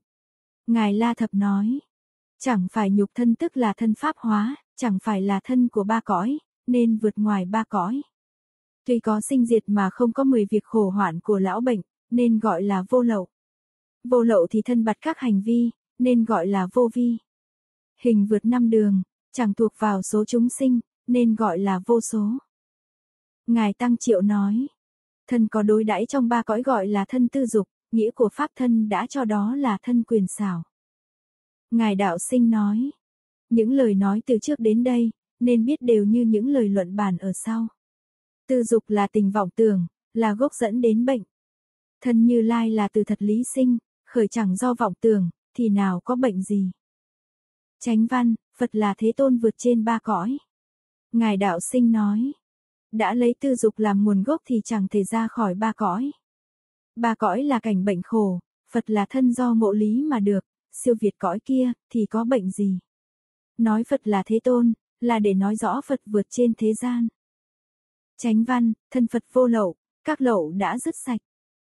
Ngài Tăng Triệu nói, Phạm pháp thân rỗng giang vi diệu, vượt khỏi cảnh thường, tình lụy chẳng thể nhiễm, tâm tưởng chẳng thể bàn đến, cho nên nói các lậu đã dứt, vượt khỏi ba cõi, trong ba cõi thì đều là hữu lậu. Ngài đạo sinh nói, tuy vượt khỏi ba cõi, mà báo thân sau cùng thì còn là pháp hữu lậu, pháp hữu lậu há không bệnh ư? Phật đã vượt trên tất cả, không còn pháp lậu này, thì có bệnh gì? Chánh văn, thân Phật vô vi chẳng rơi vào số lượng. Ngài Tăng Triệu nói, Pháp thân vô vi mà vô bất vi, vô bất vi nên hiện thân có bệnh. Vô vi nên chẳng rơi vào số lượng. Ngài Đạo Sinh nói, tuy nói là vô lậu hoặc còn là hữu vi, mà hữu vi là Pháp khởi diệt, tuy chẳng phải là bốn đại nhưng vẫn còn là hoạn. Phật đã lấy vô lậu làm thể, lại chẳng phải là hữu vi, thì nào có bệnh gì. Hữu vi thì rơi vào các số. Chánh văn, thân như thế, sẽ có bệnh gì? Ngài đạo sinh nói. Tổng kết bốn câu trên. Chánh văn, bạch thế tôn. Lúc đó con thật sinh lòng hổ thẹn nghĩ rằng, không lẽ được gần Phật mà lại nghe lầm ư. Ngài Tăng Triệu nói. Nhận mệnh lệnh mà như thế, bị ông Duy Ma chê trách, tiến lui đều ôm lòng hổ thẹn, mà cho rằng hoặc là nghe lầm. Ngài đạo sinh nói. Ở gần Phật mà nghe lầm, thế nên hổ thẹn, lầm ắt dẫn đến phạm tội, như thế chẳng thể không lo sợ. Nói chẳng lẽ được, thật là lời chẳng quyết định, nhưng ý đã nghĩ là ắt nghe lầm. Chánh văn, bỗng nghe trên hư không có tiếng nói rằng, này A Nan. Đúng như lời cư sĩ nói, chỉ vì Đức Phật xuất hiện ở đời năm ác trược. Ngài La Thập nói, kiếp trược, chúng sinh trược, phiền não trược, kiến trược và mạng trược. Vì nhiều năm gọi là du hoàng, nhiều du hoàng gọi là kiếp. Đại kiếp cũng như hiền kiếp, trong đại kiếp có kiếp nhiều việc ác, nên gọi chung là kiếp trược. Người thiện không còn, chúng sinh toàn là ác nên gọi là chúng sinh trược. Người đã trừ bỏ tà kiến rồi, chỉ còn các phiền não như ba độc. Tăng mạnh, không biết đạo lý, luôn chứng ngại thánh đạo, ắt là rơi vào ác thú, kết xử như thế tức là phiền não trược. Con người đã trừ bốn kiến, chỉ còn tà kiến, bài bác nhân quả, tội phước và thánh đạo, niết bàn, gọi là kiến trược. Vào thời kỳ đầu của đại kiếp con người có thọ mạng vô lượng. Bấy giờ, Phật chưa xuất thế. Sau đó thọ mạng con người giảm dần còn 6 vạn tuổi, thì Phật câu lưu tôn xuất thế, giảm còn 120 tuổi thì Đức Phật Thích Ca Mâu Ni xuất thế. Từ đó tuổi thọ giảm dần còn 30 tuổi. Thọ mạng từ 120 tuổi trở xuống đều gọi là mạng trược. Vào tiểu kiếp, Đức Di Lạc sinh, thì tuổi thọ con người bắt đầu tăng. Chánh văn, thực hành pháp này. Ngài La Thập nói, bản phạm ghi là pháp tham, hiện thân có bệnh, hành khất thực. Là pháp tham. Chánh văn, để độ thoát chúng sinh. Ngài đạo sinh nói, tức giải trừ tâm nghi sợ cho A Nan, khiến cho nhận được sữa. Tức như lời Duy Ma Cật nói, chỉ vì Đức Phật ứng hợp theo đời ác năm trược mà tự hiện thực hành như thế. Chánh văn, A Nan, hãy lấy sửa đi, chớ nên hổ thẹn. Ngài Tăng Triệu nói, vì A Nan hổ thẹn nên trên hư không phát tiếng nói bảo thôi dứt, tức như lời cư sĩ nói nào có thân vô lậu mà mắc bệnh thế gian đâu. Chỉ vì độ chúng sinh ở đời ác năm trược, nên thị hiện bệnh này, nên lấy sữa đi, chớ hổ thẹn nữa. Năm trược tức kiếp trược, chúng sinh trược, phiền não trược, kiến trược và mạng trược. Ngài đạo sinh nói, dấu vết của tâm hổ thẹn vẫn còn thì ắt phải đi, cho nên bảo hãy lấy sữa, chớ hổ thẹn. Chánh văn, Bạch Thế Tôn, ông Duy Ma Cật có trí tuệ biện tài như thế, nên con không kham nhận đến thăm bệnh ông ấy. Như thế, 500 vị đại đệ tử, mỗi mỗi đều trình bày với Phật về bản duyên của mình, vị nào cũng khen ngợi, thuật lại điều ông Duy Ma Cật đã nói và đều thưa rằng, con không kham nhận đến thăm bệnh ông ấy. Tủ sách áo lam xin cảm ơn quý vị đã nghe hết chú giải kinh Duy Ma Cật, phẩm 3, phẩm đệ tử. Do Ngài Tăng Triệu đời hậu tần biên soạn. Xin quý vị đừng quên ủng hộ tinh thần cho tủ sách áo lam bằng cách like, subscribe và chia sẻ video này đến với mọi người. Chúng con xin hẹn gặp lại quý vị vào phẩm 4, phẩm Bồ Tát.